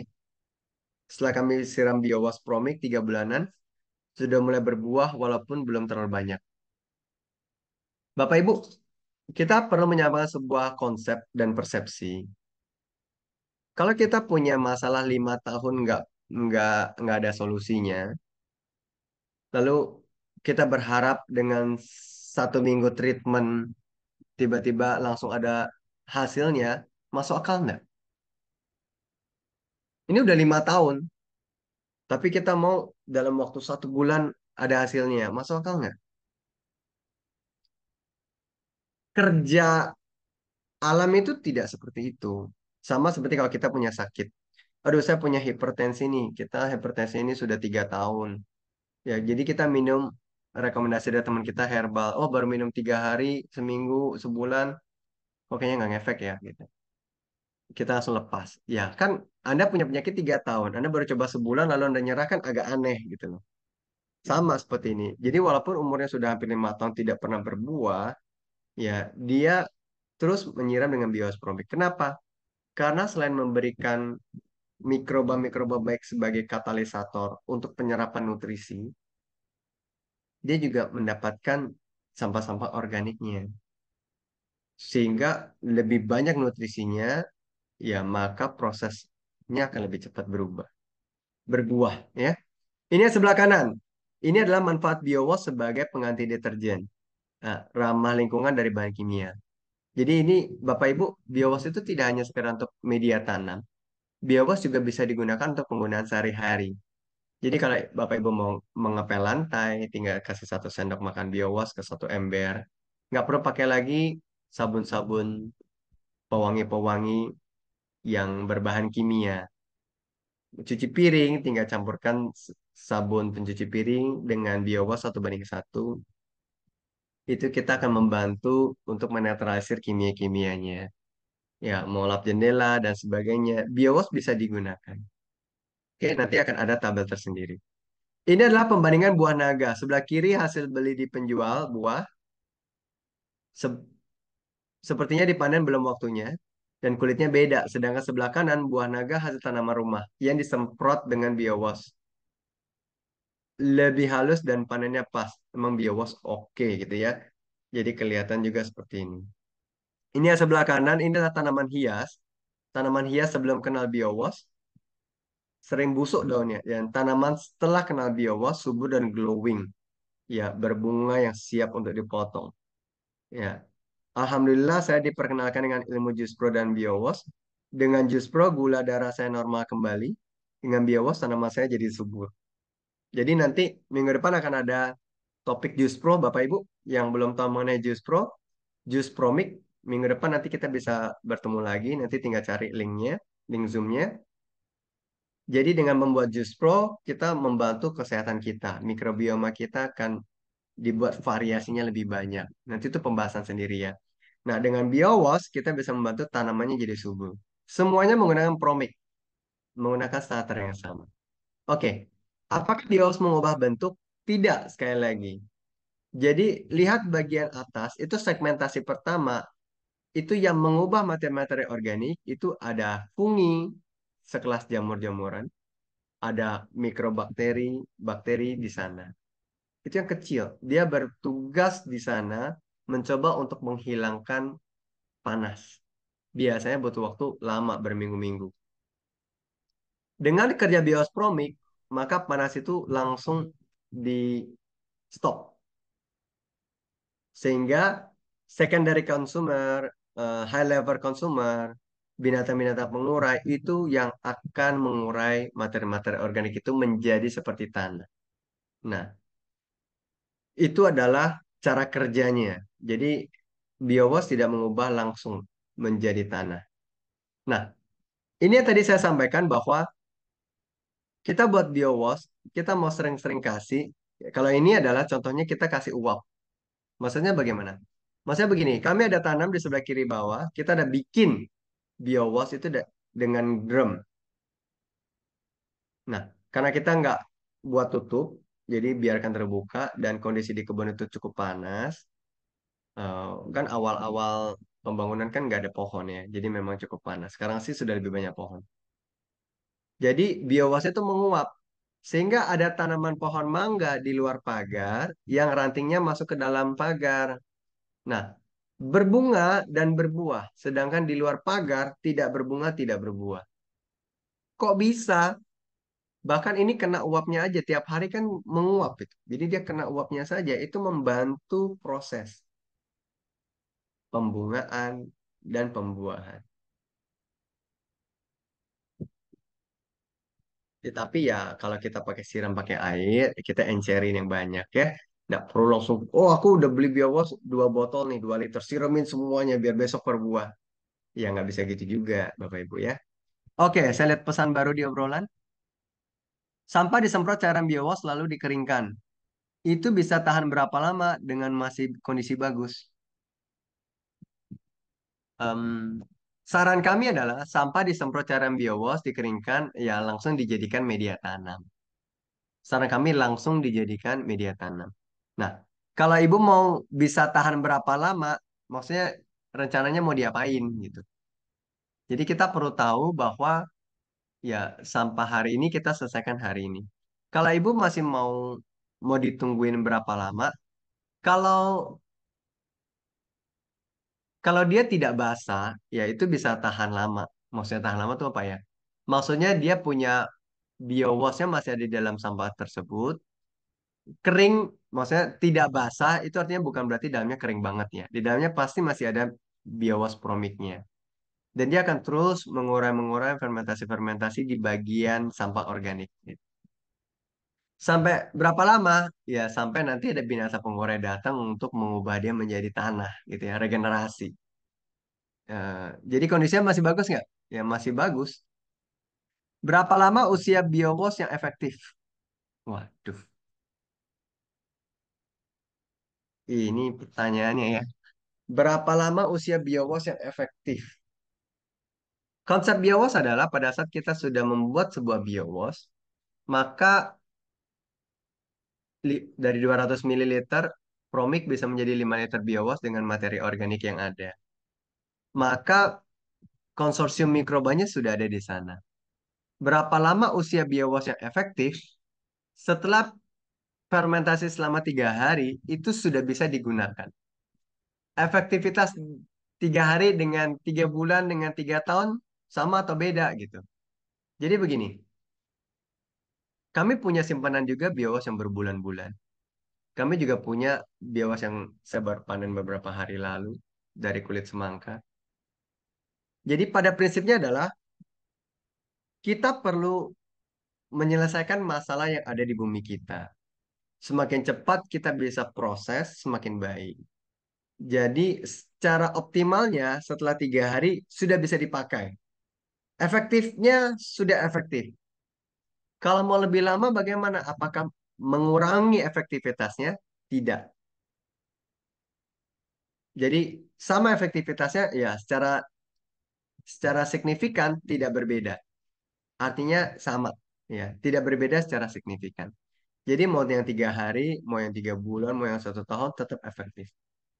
Cuma kembali lagi konsepnya adalah kalau bisa selesaikan masalah sekarang, kita selesaikan dengan lebih cepat. Pak, kalau masalah tumpukan sampah, apakah bisa langsung disiram biowas? Kan belum dipilah sampahnya. Kalau sampah organik dan anorganik atau plastik, besi, kaca, dan lain-lain, itu masih digabung, ya nggak bisa. Sama seperti nggak bisa, maksudnya nggak bisa optimal ya. Contoh, di Semarang itu TPA-nya itu sudah sempat diguyurin biowas. Ya, waktu itu eh, DLH-nya eh, sudah punya program. Jadi truk sampah yang mau ke TPA dia harus melewati timbangan. Timbangan itu harus diem kan sebentar. Itu disiramin semua pakai biowas. Habis itu baru masuk ke TPA. Setiap truk yang datang seperti itu. Nah, di TPA-nya sendiri itu kalau misalnya lagi eh, hujan itu bau. Akhirnya eh, setelah saya hujan itu udah mulai muncul lagi gelombang metananya, panas-panas metannya udah mulai keluar lagi. Lalu dia siramin pakai biowas, habis itu metannya turun lagi. Jadi itu TPA, TPA itu kan sampahnya sampahnya campur semua. Jadi eh, kalau dicampur ya nggak bisa, maksudnya nggak bisa optimal, tetap harus dipisah. Terus gimana dong? Ya sekedar-sekedar siram apa boleh buat? Kenapa? Karena kan contoh ya Bapak Ibu dulu saya sendiri juga melihat orang tua saya juga begini. Siapin plastik, ditaruh dalam tong sampah, masukin semua sampah-sampah mau organik, anorganik, yang jelas kita nggak pakai, cemplungin di situ. Lalu kalau udah penuh, kita plastiknya kita simpul, diikat, habis itu kita kasih ke petugas kebersihan. Lah kan itu sudah diikat, artinya kan kalau plastik itu waterproof. Ini kena hujan juga nggak masuk airnya. Kena angin agak nggak masuk anginnya. Jadi kalau kita taruh di TPA, lalu kita siramin biowas dari atas, ya kan tetap nggak bisa masuk plastik gitu loh. Jadi ini yang menjadi sebuah problem di TPA. Paling sederhana ya insenerator pret, semua sama hilang gitu ya. Tapi itu eh, fee-nya mahal, harianya mah bla bla bla bla bla bla itu urusan pemerintah dan swasta. Jadi yang kita bisa lakukan adalah coba dari hulunya dulu. Dari awal sampai itu diciptakan. Kita beresin langsung dari situ. Jangan sudah sampai ke petugas kebersihan, sudah sampai TPS, TPS bawa lagi ke TPA, baru urusin di TPA. Orang bilang itu yang disebut tindakan kuratif dan bukan preventif. Kuratif artinya udah ada masalah, dia baru cari obat. Preventif adalah jangan sampai ada masalah. Oleh karena itu kita selesaikan di sumber. Makanya kalau di Bali, beberapa kota Gubernurnya sudah keluarkan undang-undang. Sampah tidak boleh keluar dari desa ke desa lain. Sampah harus dibereskan, diselesaikan di sumbernya. Artinya dari tempat create sampahnya itu sudah harus diurus. Ya, oke. Jadi kalau tumpukan sampah tidak optimal. Jadi kita harus urus dari hulu. Jadi itu dibiarin aja dong. Kita nggak bisa ngapa-ngapain dong. TPA contohnya ya. Bapak Ibu, sampah itu kita hasilkan setiap hari. Kalau kita nggak ngurus sampah yang sudah ada, yang sudah ada nih, TPA itu kita nggak urus, sampah tetap kita produksi terus. Jadi kita lebih bagus adalah kita urus sampah kita yang kita produksi tiap hari, teman-teman kita produksi tiap hari, jangan tambah lagi di sana. Makanya kenapa pemerintah sendiri, KLHK, boleh lihat nanti di berita di internet, sudah mencanangkan tahun 2030, 6 tahun dari hari ini, tidak boleh ada lagi pembukaan TPA baru. Artinya yang punya sampah nggak bisa buang lagi sembarangan ke situ. Yang akan diambil itu yang anorganik, yang nanti mereka akan coba distribusikan untuk recycle, daur ulang. Yang organik mereka tolak. Kejadian tuh di Jakarta dan beberapa tempat tuh. TPA penuh, ya tiga hari ini nggak bisa lagi terima atau angkut sampah. Di Jogja bilang, hanya bisa ngangkut anorganik, organik nggak bisa diangkut. Mereka pusing Bapak Ibu. Kenapa? Karena ya organik itu nggak ada yang mau ambil. Karena susah ngolahnya. Bau, banyak lalat, patogen. Tapi dengan BIOS ini sebenarnya adalah kunci Bapak Ibu bisa selesaikan masalah itu. Oke, popoknya dibersihkan dulu tidak Pak? Kalau yang di Batam tidak dibersihkan, itu tinggal dibuka, langsung ditaruh-taruh. Kalau yang di Jawa Timur, di suku Tengger, itu di dirobek-robek karena dia mau ambil gelnya. Jadi semuanya dicemplungin ya. Udah robek-robek terus kalian dicemplungin di biowash. Jadi bukan dibersihkan sih ya. Itu cuma dirobek-robek, di diurai-urai, lerai-lerai, habis itu dicemplungin. Ya nggak nggak dibersihkan. Nah, mungkin ada orang mau bersihin popok ya. Itu capek lah. Ya. Oke, selamat malam. Apakah bisa diikutkan dalam grup WA komunitas Promik? Terima kasih dari Bu Lili Lim. Eh, bisa Bu, Eh, nanti Ibu coba japri ke saya ya. Nanti saya coba bantu masukkan. Ini nomor WA saya ya. Baik. Eko Banyumas hadir. Ya, selamat malam Pak Eko. Kayak di TV-nya ya, Pak Eko gitu. Saya campur air 1 banding 30. Kenapa jadi agak hitam airnya Pak? Karena saya pakainya keesokan harinya setelah dicairkan 1 banding 30. Wah, ini pertanyaan bagus ini. Saya nggak pernah tuh campur biowas, saya campur air jadi hitam. Pertama, nanti Ibu boleh sharing sharing ya Bu ya. Nanti juga boleh open mic biar teman-teman juga bisa dengar atau enggak kalau nggak sempat nanti boleh japri juga. Pertama adalah Ibu bikin biowasnya pakai apa? Pakai air apa? Kemudian Ibu campur airnya pakai air apa? Lalu Ibu tinggalin sampai besok itu Ibu taruhnya di mana? Mungkin akan ada sesuatu di sana. Karena nggak tahu nih apakah ada orang lain yang nggak sengaja taruh sesuatu atau karena nggak ada sih. Nanti kita juga tanya ke teman-teman yang ada di sini ya. Biowas begitu dianjarin besok jadi hitam. Ada nggak kayak gitu ya? Nanti kita coba tanya teman-teman. Oke, saya lanjutkan. Ini adalah perbandingan penggunaan Jus Pro, Biowas, ataupun Promik. Nanti ini akan ada di di website Kausa Lestari. Nanti bisa dibuka kausalestari.com. Eh, cari aja linknya. Nanti ada kelihatan di bawah-bawahnya sedikit. Itu cara pemakaian luar. Jadi boleh pakai Promik, boleh pakai Jus Pro, boleh pakai Biowash. Mencuci sayur dan buah, cuci piring, bilas pakaian, pakai mesin cuci, ngepel lantai, sampo, sikat gigi, mengurangi bau mulut. Contoh ya Bapak Ibu, saya sampai sekarang sudah nggak pernah lagi pakai pasta gigi. Eh, karena saya pakainya Jus Pro. Jadi Jus Pro itu saya tinggal sikat gigi saya, saya tinggal basahin pakai Jus Pro, saya sikat gigi saya. Kalau kerasanya sudah nggak gitu asam lagi, ya saya tambahin lagi Jus Pro, saya sikat gigi lagi. Sampai semua gigi sudah disikat, kemudian ya udah saya kumur-kumur pakai air biasa, habis itu saya selesai sikat giginya. Jadi bagi Bapak Ibu yang nanti yang punya masalah gigi, giginya ngilu, sariawan, kemudian giginya bolong, giginya hitam-hitam, kayak digerogotin sama bakteri, cobalah sikat gigi pakai Jus Pro. Itu ngilunya bakalan hilang karena yang grogotin itu udah di di dipukulin gitu ya sama bios. Woi, sama Just Pro. Woi, bertobat bertobat, jangan makan gigi orang lagi gitu ya. Jadi nanti boleh dicoba. Ini sangat bagus sekali. Jadi orang yang sakit ngilu, yang sakit gigi itu bisa membaik. Mau kumur-kumur juga boleh. Ya, ini bisa untuk masak nasi, eh, memurnikan air minum, luka bakar, sayat, borok, gores, memar. Jadi yang kebentur memar, kompres. Yang nggak sengaja kebeset tangannya berdarah, kompres. Ya, cemplungin aja pakai biowash. Diamin nanti juga bisa sembuh. Saya nggak sengaja waktu itu saya potong apa gitu ya, besok eh, hampir belah belah jari gitu ya.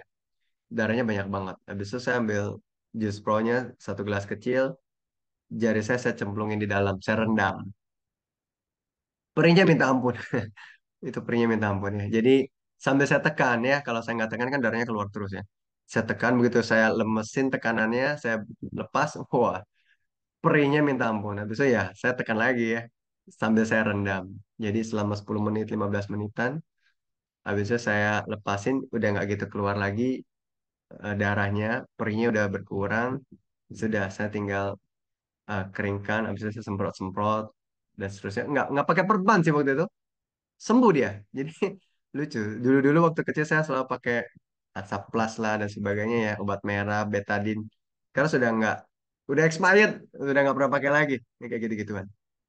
Jadi itu sangat ampuh, ya. Kemudian luka bakar, luka kena air panas gitu ya. Jadi anak saya, anak saya waktu itu lagi am- ambil mie kuah, lagi jalan di koridor. Kemudian anak saya lagi satu lari, abrak. Wah, jadi eh, bibir, dagu, dada, leher itu semuanya kena siram air panas, mie panas. Jadi nangis-nangis ya. Jadi kita kompresin pakai jus pro tisu. Udah beberapa puluh detik kita ganti lagi jus pro lagi. siram-siram. Wah, setelah setengah jam satu jam itu udah mulai memerah, udah nggak nangis lagi. Ya sampai sekarang nggak ada bekas. Itu, itu parah banget ya. Oke, bisa maskara wajah, wajah lebih halus ya, kompres mata, mau tetes juga boleh. Pembersih udara ya, menurunkan demam, bengkak, nyeri, kemudian nyeri otot, nyeri tulang, ya hidung tersumbat, batuk, meredakan sakit gigi, gusi bengkak. Bapak Ibu, saya baru ingat, nanti kalau misalnya Bapak Ibu punya teman-teman, kenalan-kenalan, saudara, kita tahu nih dia pagi-pagi bangun tidur tuh pilek-pilek atau nggak bersin-bersin. Suruh dia minum jus pro aja. Oh ya, kita bahas biowas hari ini ya. Udah, minggu depan kita baru bahas ya. Oke, merawat bulu, merawat kolam ikan, menghilangkan bau badan, menghilangkan bau kaki, dan lain sebagainya. Ya, dan terakhir kita bisa jadi pupuk organik cair, satu banding 30 dengan air. At- Siram dua kali seminggu boleh, tiga kali boleh. Oke? Nah, mengapa kita perlu mengolah sampah dengan biospromik? Bapak Ibu, sekali lagi bahwa kita menciptakan tanah subur. Supaya apa? Supaya degradasi tanah itu tidak terjadi di tempat kita. Kita nggak ingin akan ada tiba-tiba gempa, lalu erosi di mana-mana. Kita nggak ingin tiba-tiba permukaan tanah kita turun-turun. turun. Jakarta tuh nggak punya gunung berapi, tapi tanahnya turun terus. Ya, kalau di tempat lain kan ada gunung berapi, goyang-goyang, goyang-goyang, mungkin erosi ya. Jakarta kan kagak ada gitu ya, tapi dia turun-turun terus ya, degradasi tanah. Oke, jadi kenapa kita perlu olah sampah dengan biospromik? Karena kita harus menciptakan tanah yang subur supaya tidak ada degradasi tanah. Dari mana kita mendapatkan bahan-bahannya? Kita gunakan bahan-bahannya dari yang kita buang. Jadi itu win-win solution. Dengan kita menciptakan tanah yang subur, maka oksigen akan banyak. Kenapa? Karena tanah yang banyak mengandung mikroba, dia akan menangkap C-nya, karbon dari CO2. Oke, ini ada langkah ketiga Langkah ketiga, oh langkah satu, langkah duanya apa Pak? Ya langkah satu kita sudah tahu, langkah kedua kita action, langkah ketiga kita jangan action sendirian. Kita bisa lakukan bersama-sama. Kita bisa sharing, terus berkegiatan, terus edukasi. Karena kita ingin 100 tahun ke depan, generasi kita masih hidup dengan lebih baik. Oke, nah ini adalah kolaborasi-kolaborasi yang ada. Wah ini ada yang tanya lagi. Saya baca dulu. Kalau kulit gatal seperti eksim, bisakah saya bikin campuran biowas 1 banding 30? tapi tidak langsung habis dipakai. Saya simpan sampai dengan lima hari karena sampahnya belum ada banyak. Oh iya. Jadi kalau gatal seperti eksim bisa nggak? Bisa Bu. Kalau yang gatal-gatal Ibu nggak perlu encerkan ya. Biowasnya langsung balurin aja. Kalau Ibu buat jus pro, jus pro langsung balurin.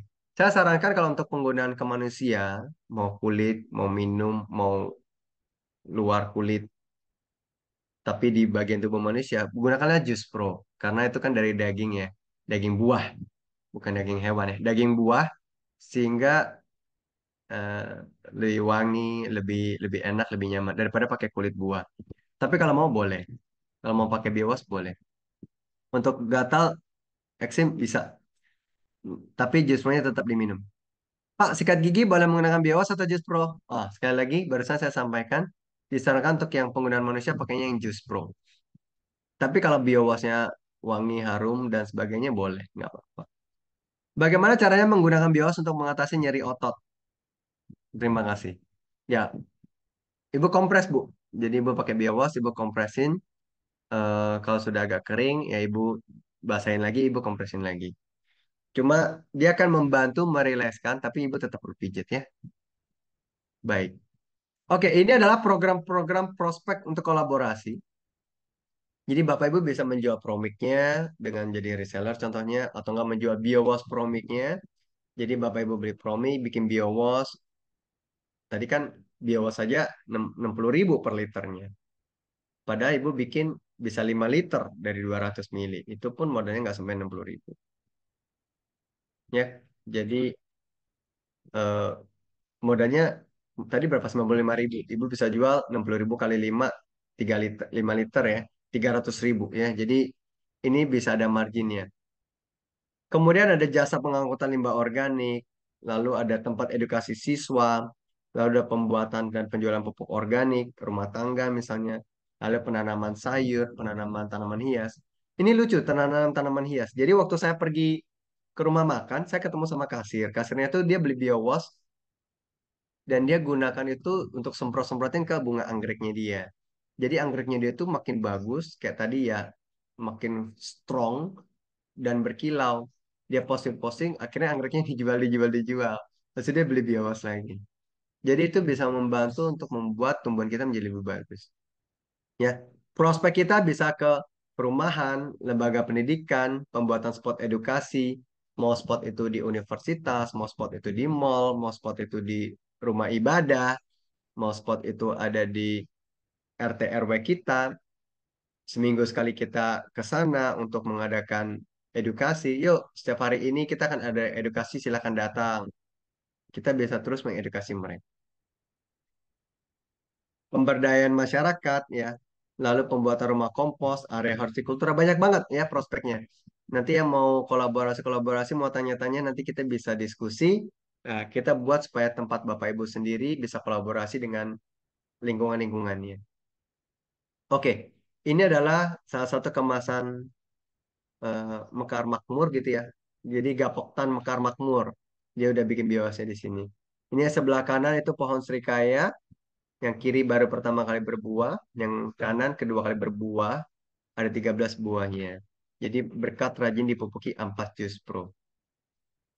Biawas jus pro juga aman juga untuk binatang ya. Hewan peliharaan. Bisa dioles-olesin kasih ke mereka juga bagus. Oke, ini adalah informasi yang kita dapatkan semuanya dari bukti-bukti empiris. Ya, biosporomik ini itu bukan obat atau pengganti obat tanaman, tapi ini untuk mengolah sampah. Ya, dan juga dia bisa membantu untuk lingkungan kita menjadi lebih baik. Oke. Nah, ini ada satu tembang kasih semesta, Bapak Ibu. Ini saya coba sharingkan. Ini menurut saya sih sangat inspiratif, jadi saya mencoba untuk berbagi kepada Bapak Ibu sekalian yang ada di sini. Saya coba buka uh, dari YouTube-nya sendiri, nanti Bapak Ibu juga kalau mau lihat YouTube-nya juga bisa. Tembang kasih semesta.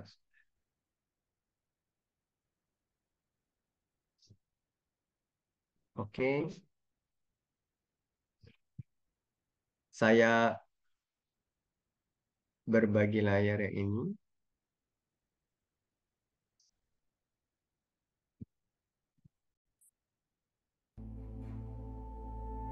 Kita saksikan bersama Bapak Ibu.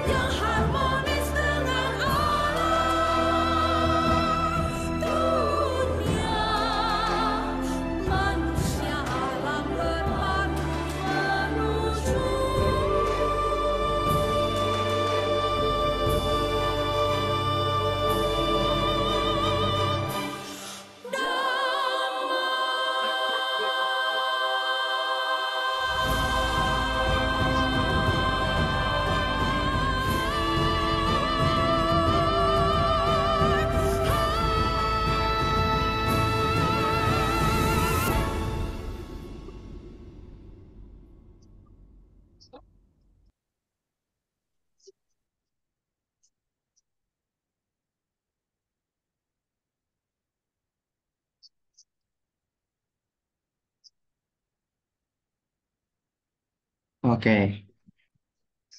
Ya, tadi kita udah sama-sama lihat ya Bapak ya. Itu adalah tembang kasih semesta. Saya merasa sangat terinspirasi sekali dengan adanya eh, lirik dari lagu tersebut. Kok inilah hostnya orang Indah juga ya? Oh, Eh, saya saya bukan orang inilah ya, cuma saya melihat bahwa ini memang menginspirasi, tetapi eh, kita bisa sharing bersama. Inilah Meranti, ya. Saya di Palembang ya, salam kenal juga Ibu Serlina. Baik, bersama mari kita membangun keluarga yang harmonis dengan alam. Dengan kita mencoba mengelola sampah kita, kita mencoba untuk regenerasi tanah kita, maka kita mencoba untuk menambahkan keanekaragaman hayati, maka kita menyambung tali keharmonisan dengan alam. Jadi kalau kita sendiri sudah mencoba untuk membangun ini semua, tali keharmonisan dengan alam, maka kita mencoba menginspirasi, jadikan teladan, agar keluarga kita juga bisa harmonis dengan alam. Kita sharingkan kepada mereka. Kita udah sharingkan kepada keluarga, kita kan jadi teladan, kita sharingkan ke masyarakat. Dan kita mencoba membuat bangsa yang harmonis dengan alam, sehingga dunia kita ini bisa menjadi damai. Kalau kita udah harmonis ke alam, saya rasa kita mau menyakiti manusia itu agak lebih sulit. Karena ke alam aja kita mau berdamai. Masa ke manusia kita mau kehancuran? Saya rasa tidak akan sampai ke sana. Baik. Bapak Ibu, kita didefinisikan, kita dilihat orang itu melalui tindakan kita. Bukan dari kata-kata kita. Pada hari ini, pada malam hari ini, kita semua mengetahui mengenai bagaimana cara kita mengubah sesuatu yang dianggap sampah menjadi yang lebih bernilai. Ayo, mari kita melakukan action. Bapak Ibu, ini adalah sebuah opsi. Tidak harus pakai ini. Kalau Bapak Ibu punya metode yang lain, silakan gunakan. Silakan membantu untuk menyebarluaskan opsi-opsi yang ada. Sehingga tanah kita menjadi lebih regenerasi. Jangan sampai terdegradasi. Well done is better than well said, kata Presiden Amerika Serikat yang lampau. Jadi kalau kita sudah menyelesaikannya dengan baik, itu lebih baik daripada kita ngomongnya dengan baik ya. Sudah selesai ngomong, bagus. Tapi kalau sudah selesai melakukan, itu lebih baik lagi. Ya, terima kasih Bapak Ibu. Ada yang ingin ditanyakan Bapak Ibu atau ada yang mau sharing? Silakan.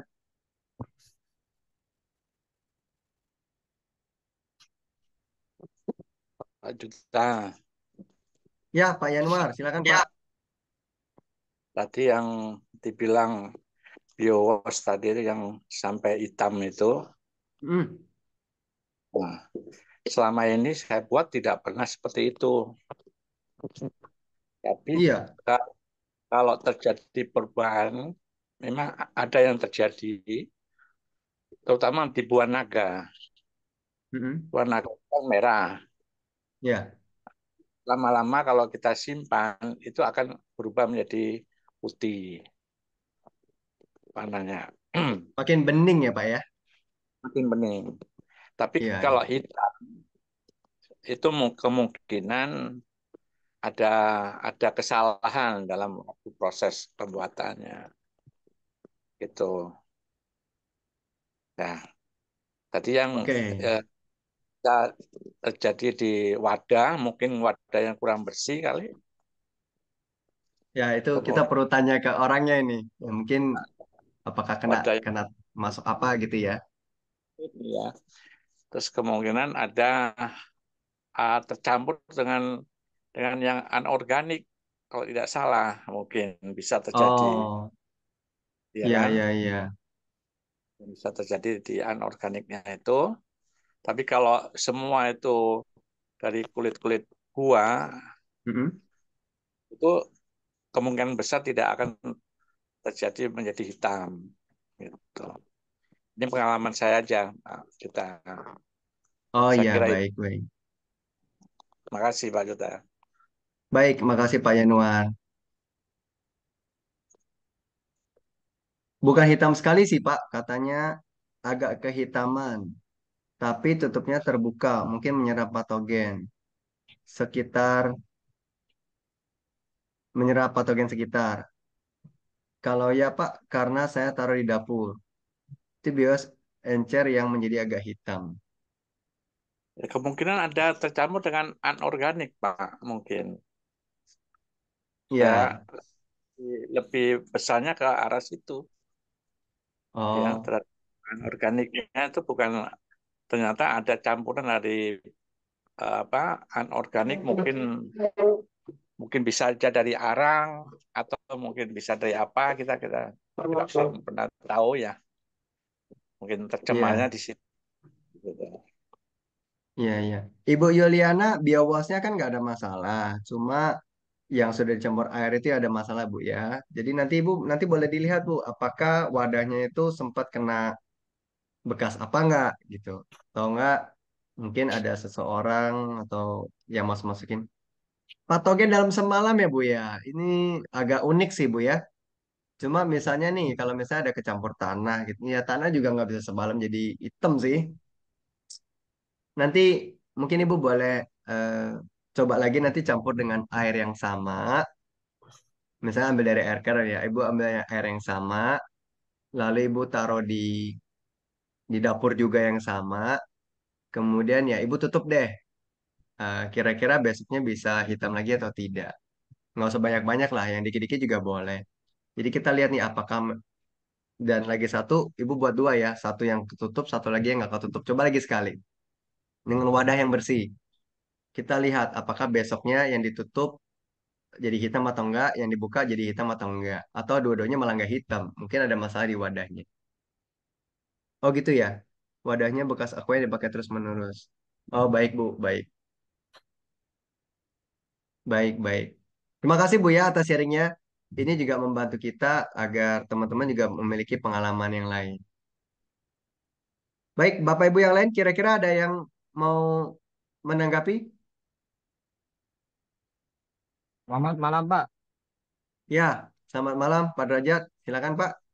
Ah, begini, Pak. Menjawab pertanyaan yang tadi, kalau mau nambah apa eh, bahan-bahan yang untuk tadi dari sampah tadi, ini kami pengalaman karena komplek kami kan kecil, Pak, sehingga tidak ada lahan. Kemudian saya membuat semacam bak, ya, bak kotak gitu. Saya bikin, terus dari situ sampah-sampah itu kita kumpulin, Pak. Nah, kumpulin, kita sirum biogas, kemudian kita tutup dengan apa? Dengan lapisan tanah sedikit gitu. Oke. Nah, terus kemudian saya masukin lagi kan, mungkin orang kan lihat wah sampahnya kan kotor gitu lihat. Nah, itu dari situ kami tumpuin lagi, nanti kita bios lagi, tumpuin lagi. Itu kira-kira tiga, saya masukin ditutup kira-kira satu minggu itu sudah bagus Pak bisa. Nanti baru kita bagi-bagi yang butuh untuk pot, untuk ini, untuk ini. Itu pernah kami coba begitu. Terus kemudian oh, air kalau kita tumbuk tadi dari bak itu kan ada keluar namanya lindi. Lindi itu Hmm. air air apa ya? Air dari sampah-sampah itu tadi. Ya, Eh, itu nanti ngalir kita tadain. Jadi baknya itu jangan jangan terlalu mepet tanah, agak ditinggi sedikit kira-kira berapa suka 20 cm apa berapa. Nanti dikasih al- saluran. Nah, itu lindinya kami masukin di ditadain di situ. Jadi eh, baknya itu yang dasarnya agak miring supaya air Hmm. nanti ngalir ke lubang itu tadi. Lubangnya dikasih ada pipa apa apa gitu. Itu lindinya itu untuk nyiramin bunga-bunga itu bagus juga. Itu kami coba begitu. Barangkali ini untuk menjawab tadi kan ada tanya bisa boleh ditambah sampah enggak? Itu pertama ya tadi jawab supaya sampah tidak keluar. Terus kedua tidak apa bisa dimanfaatkan bareng-bareng gitu. Itu kami coba begitu. Tapi ya hasilnya memang belum nampak, tapi kelihatannya kok saya tanya Bu Ivon kemarin, oh bisa bagus gitu. Jujur saya dikasih cara gambar-gambarnya begitu. Terima kasih Pak. baik, baik. Jadi setelah satu minggu itu dari Pak Derajat sampahnya itu sudah, maksudnya sudah sudah Ya berubah kan bentuk tadi gitu ya? ya sudah agak membusuk terus eh, sampul tanah gitu. Jadi kan tadi kan diuruk Oh, tanah. iya Kalau iya iya. tanah itu agak basah ya kadang-kadang dikepiur-kepiur air gitu supaya basah. Tapi Oh, biogas ditum Tadi kan orang kan mungkin lihat ada bekas nasi, bekas itu di kotak gitu kan, melihat rada serem gitu kan. Kalau ditutup lapisan tanah gitu kan agak bersih gitu. Iya, Dan iya. memang memang tidak ada bau. Lalat pun kayaknya kok tidak ada. Baik, baik. Jadi nggak ada lalat, nggak ada bau ya, Pak? Iya, Baik, baik. Berarti setelah seminggu itu Bapak ambil itu dari atas atau dari bawah? lu kan kotak ya tinggal dari atas aja yang pakai Oh, ember dari gitu. atas. Oh, baik, baik. Ini kan kotak ya kancam kolam kamar mandi itu loh. itu Oh, iya, iya, iya, iya. ya itu agak panjang dikit ya kira-kira berapa itu nanti lapisan ya kalau misalnya itu satu minggu belum diambil juga nggak masalah Iya, iya. itu kelihatannya kok sudah bisa siap untuk tanam cabai siap tanam yang gitu-gitu dipakai pot Iya, ya iya, ini betul, pak barangkali yang lain juga cocok gitu Iya, iya. Terima kasih loh Pak Derajat, sharingnya ini sangat bermanfaat ini. Mau nanya Pak Juta. Ya, silakan Pak. Eh, saya kan ada buat bios dari eh, kulit jeruk. Mm-mm. Kelamaan saya panennya ada hampir sebulan. Itu baunya kan nggak enak tuh Pak. Iya. Heeh, itu untuk menghilangin baunya atau buat wangi pakai apa biasanya Pak? Eh, Bapak yang cairin aja Pak. Jadi Bapak yang cairin atau enggak? Bapak mau bawa wangi ya? Ini biowasnya mau untuk apa nih Pak? Ya kan mau saya bagi gitu loh Pak. Nanti kalau kalau saya bagi sama warga kan kok baunya nggak enak gitu loh Pak. Oh, oke baik. Hmm. Ya sebenarnya ini kan bukan. tambahin pak kalau kulit jeruk biasanya kecut pak kalau kulit jeruk tak baunya memang kurang sedap harus Iya. dikasih campuran nanas apa gitu jadi kalau jeruk tok itu busuknya kayak nyemelok-nyemelok gitu terus baunya memang agak kecut Ya, ya, betul. Jadi Iya. Pak Pak Darmauli, em, biowas itu kan memang untuk lingkungan. Jadi Iya. memang aromanya memang kita tidak bisa 100% selalu sama terus gitu ya. Iya. Karena kan memang nggak pakai pewangi, penstabil alami, nggak penstabil buatan, eh, kita Hmm. nggak pakai. Jadi kalau mau mereka pakai, pada saat mereka pakai itu kalau diencerkan satu banding 30, biasa aromanya udah nggak ada. Itu yang pertama. Lalu kalau, kalau Bapak memang mau menghilangkan baunya, Bapak boleh tambahin gula, Pak. Tapi saya sih nggak saranin ya. Saya sih lebih menyarankan adalah eh, mereka mencoba eh, terbiasa dengan hal-hal yang alami. Ya. Iya. Lalu mereka encerkan, setelah diencerin satu banding 30, biasa aroma udah nggak ada. Buktinya apa? Buktinya begini. Kalau kita olah sampah, sampah itu kan bau. Tapi kalau diolah dengan biowas sebau apa pun, begitu encerin, siramin, baunya semua hilang. Mau bau biowasnya yang bau hilang, bau sampahnya juga hilang. Nah, mungkin waktu Bapak bikin juga kan terpengaruh dengan udara. Bu Tini waktu itu juga ada sempat bikin, dia udah enam bulan atau udah setahun, biowas dari kulit jeruk juga baunya masih wangi. Nah, Hmm. jadi mungkin ada pengaruh dari udara juga masuk. Tapi itu nggak mempengaruhi fungsi, itu tetap bisa pakai. Cuma kalau mengenai ba- eh, aroma, ya untuk biowas sih sebenarnya nggak nggak begitu pengaruh, Pak. Jadi mereka, oh ini kok baunya begini? Ya ini bau alam gitu, Pak ya. Jadi kasih tahu mereka seperti itu. Tapi kalau memang Bapak memang mau berkenaan dengan masalah bau, eh, mau tetap dirubah, Bapak mungkin perlu eksperimen, Pak. Di sana lebih banyaknya apa nih? Misalnya di sana tuh eh, ada misalnya jeruk nipis gitu ya. Ya Bapak belah beberapa biji, Bapak cemplungin aja. Nah, kita berharap nanti ada aroma yang berubah dengan lebih baik. Atau di sana sukanya aroma-aroma yang seperti apa ya, Bapak potong sedikit, Bapak cemplungin aja. Itu nggak apa-apa. Oke Pak, makasih Pak. Ya, sama-sama Pak. Yang penting, yang penting eh, kalau sudah buat ya dipakai ya Pak ya, Yo iya siap. sampai sebulan. Iya, Ya nggak karena masih ada juga yang. Masih ada Oh yang iya, lama. Nah, iya, iya, iya. Baik, baik. Ya, Bapak Ibu yang lain, ada yang ingin memberikan tanggapan?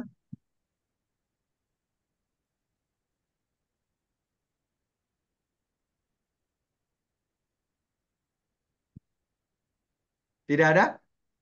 Ini ada Terus ngantuk ada Ayah Ruda di sini ya. Ini ini adalah salah satu eh, pendukung dari eh, Kausal Lestari di Palembang.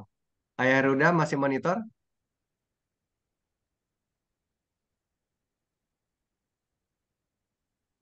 Oke, nggak apa-apa. Mungkin lagi lagi tidak bisa buka mic.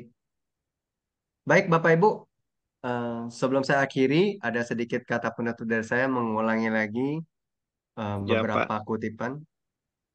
Oh, on. Mas, Ya, masih masih mantau, Pak. Lanjut, Pak. masih mantap ya. Baik, baik. Iya, Pak. Pak Ruda ada mau memberikan sedikit testimoni penggunaan BioWash mungkin? Eh, yang pasti BioWash ini, Pak, eh, Bapak Ibu ya, eh, apa namanya, kita ber, ber, ber- berteman dengan alam lah. Jadi eh, dengan BioWash kita jadikan alam ini nanti bisa lebih baik lah ke depannya. Itu aja mungkin, Pak. Baik. Terima kasih Pak Ruda. Pak Ruda ini salah satu dari ketua IKM UKM. Jadi nanti Bapak Ibu kalau mau mengurusin masalah eh, halal, PIRT, OSS, NIB dan sebagainya juga nanti bisa hubungi beliau. Oke, Bapak Ibu untuk penutup, eh, saya ada kutipan yang tadi kita sudah sempat dengarkan sekilas. Mari kita bersama-sama kita melindungi diri kita, lindungi dari segalanya, dari apa pun kita perlu melindungi diri kita dulu. Setelah diri kita sudah terlindungi, mari kita lindungi yang lain. Marilah kita mencintai diri kita, kita wujudkan cinta kita terhadap diri kita sendiri, lalu kita cintailah yang lain. Cintai mereka, cintai hewan-hewan, cintai tumbuhan, cintai ekosistem kita. Marilah kita muliakan diri kita, jangan sampai kita hidup mulianya nggak nggak kelihatan gitu ya. Ya hidup manusia oh, sekedar manusia doang gitu ya. Ada nggak ada sama aja gitu. Tetapi kita bisa memuliakan diri kita dengan harmonis dengan alam, dengan tidak memiliki rasa penyesalan dalam diri kita. Setelah kita muliakan diri kita, marilah kita muliakan mereka. Muliakanlah saudara kita, muliakanlah keluarga kita, muliakanlah masyarakat kita dan bangsa kita. Dengan demikian, hidup kita bisa lebih tenang, lebih damai, nggak ada penyesalan di akhir hayat kita. Demikian dari saya, semoga malam ini kita sama-sama bisa mendapatkan sharing yang baik, wawasan yang baik, dan bermanfaat untuk kita semua. Selamat malam Bapak Ibu, sampai jumpa. Malam, Pak. Terima kasih, Pak. Malam, Pak Juta. Izin live ya.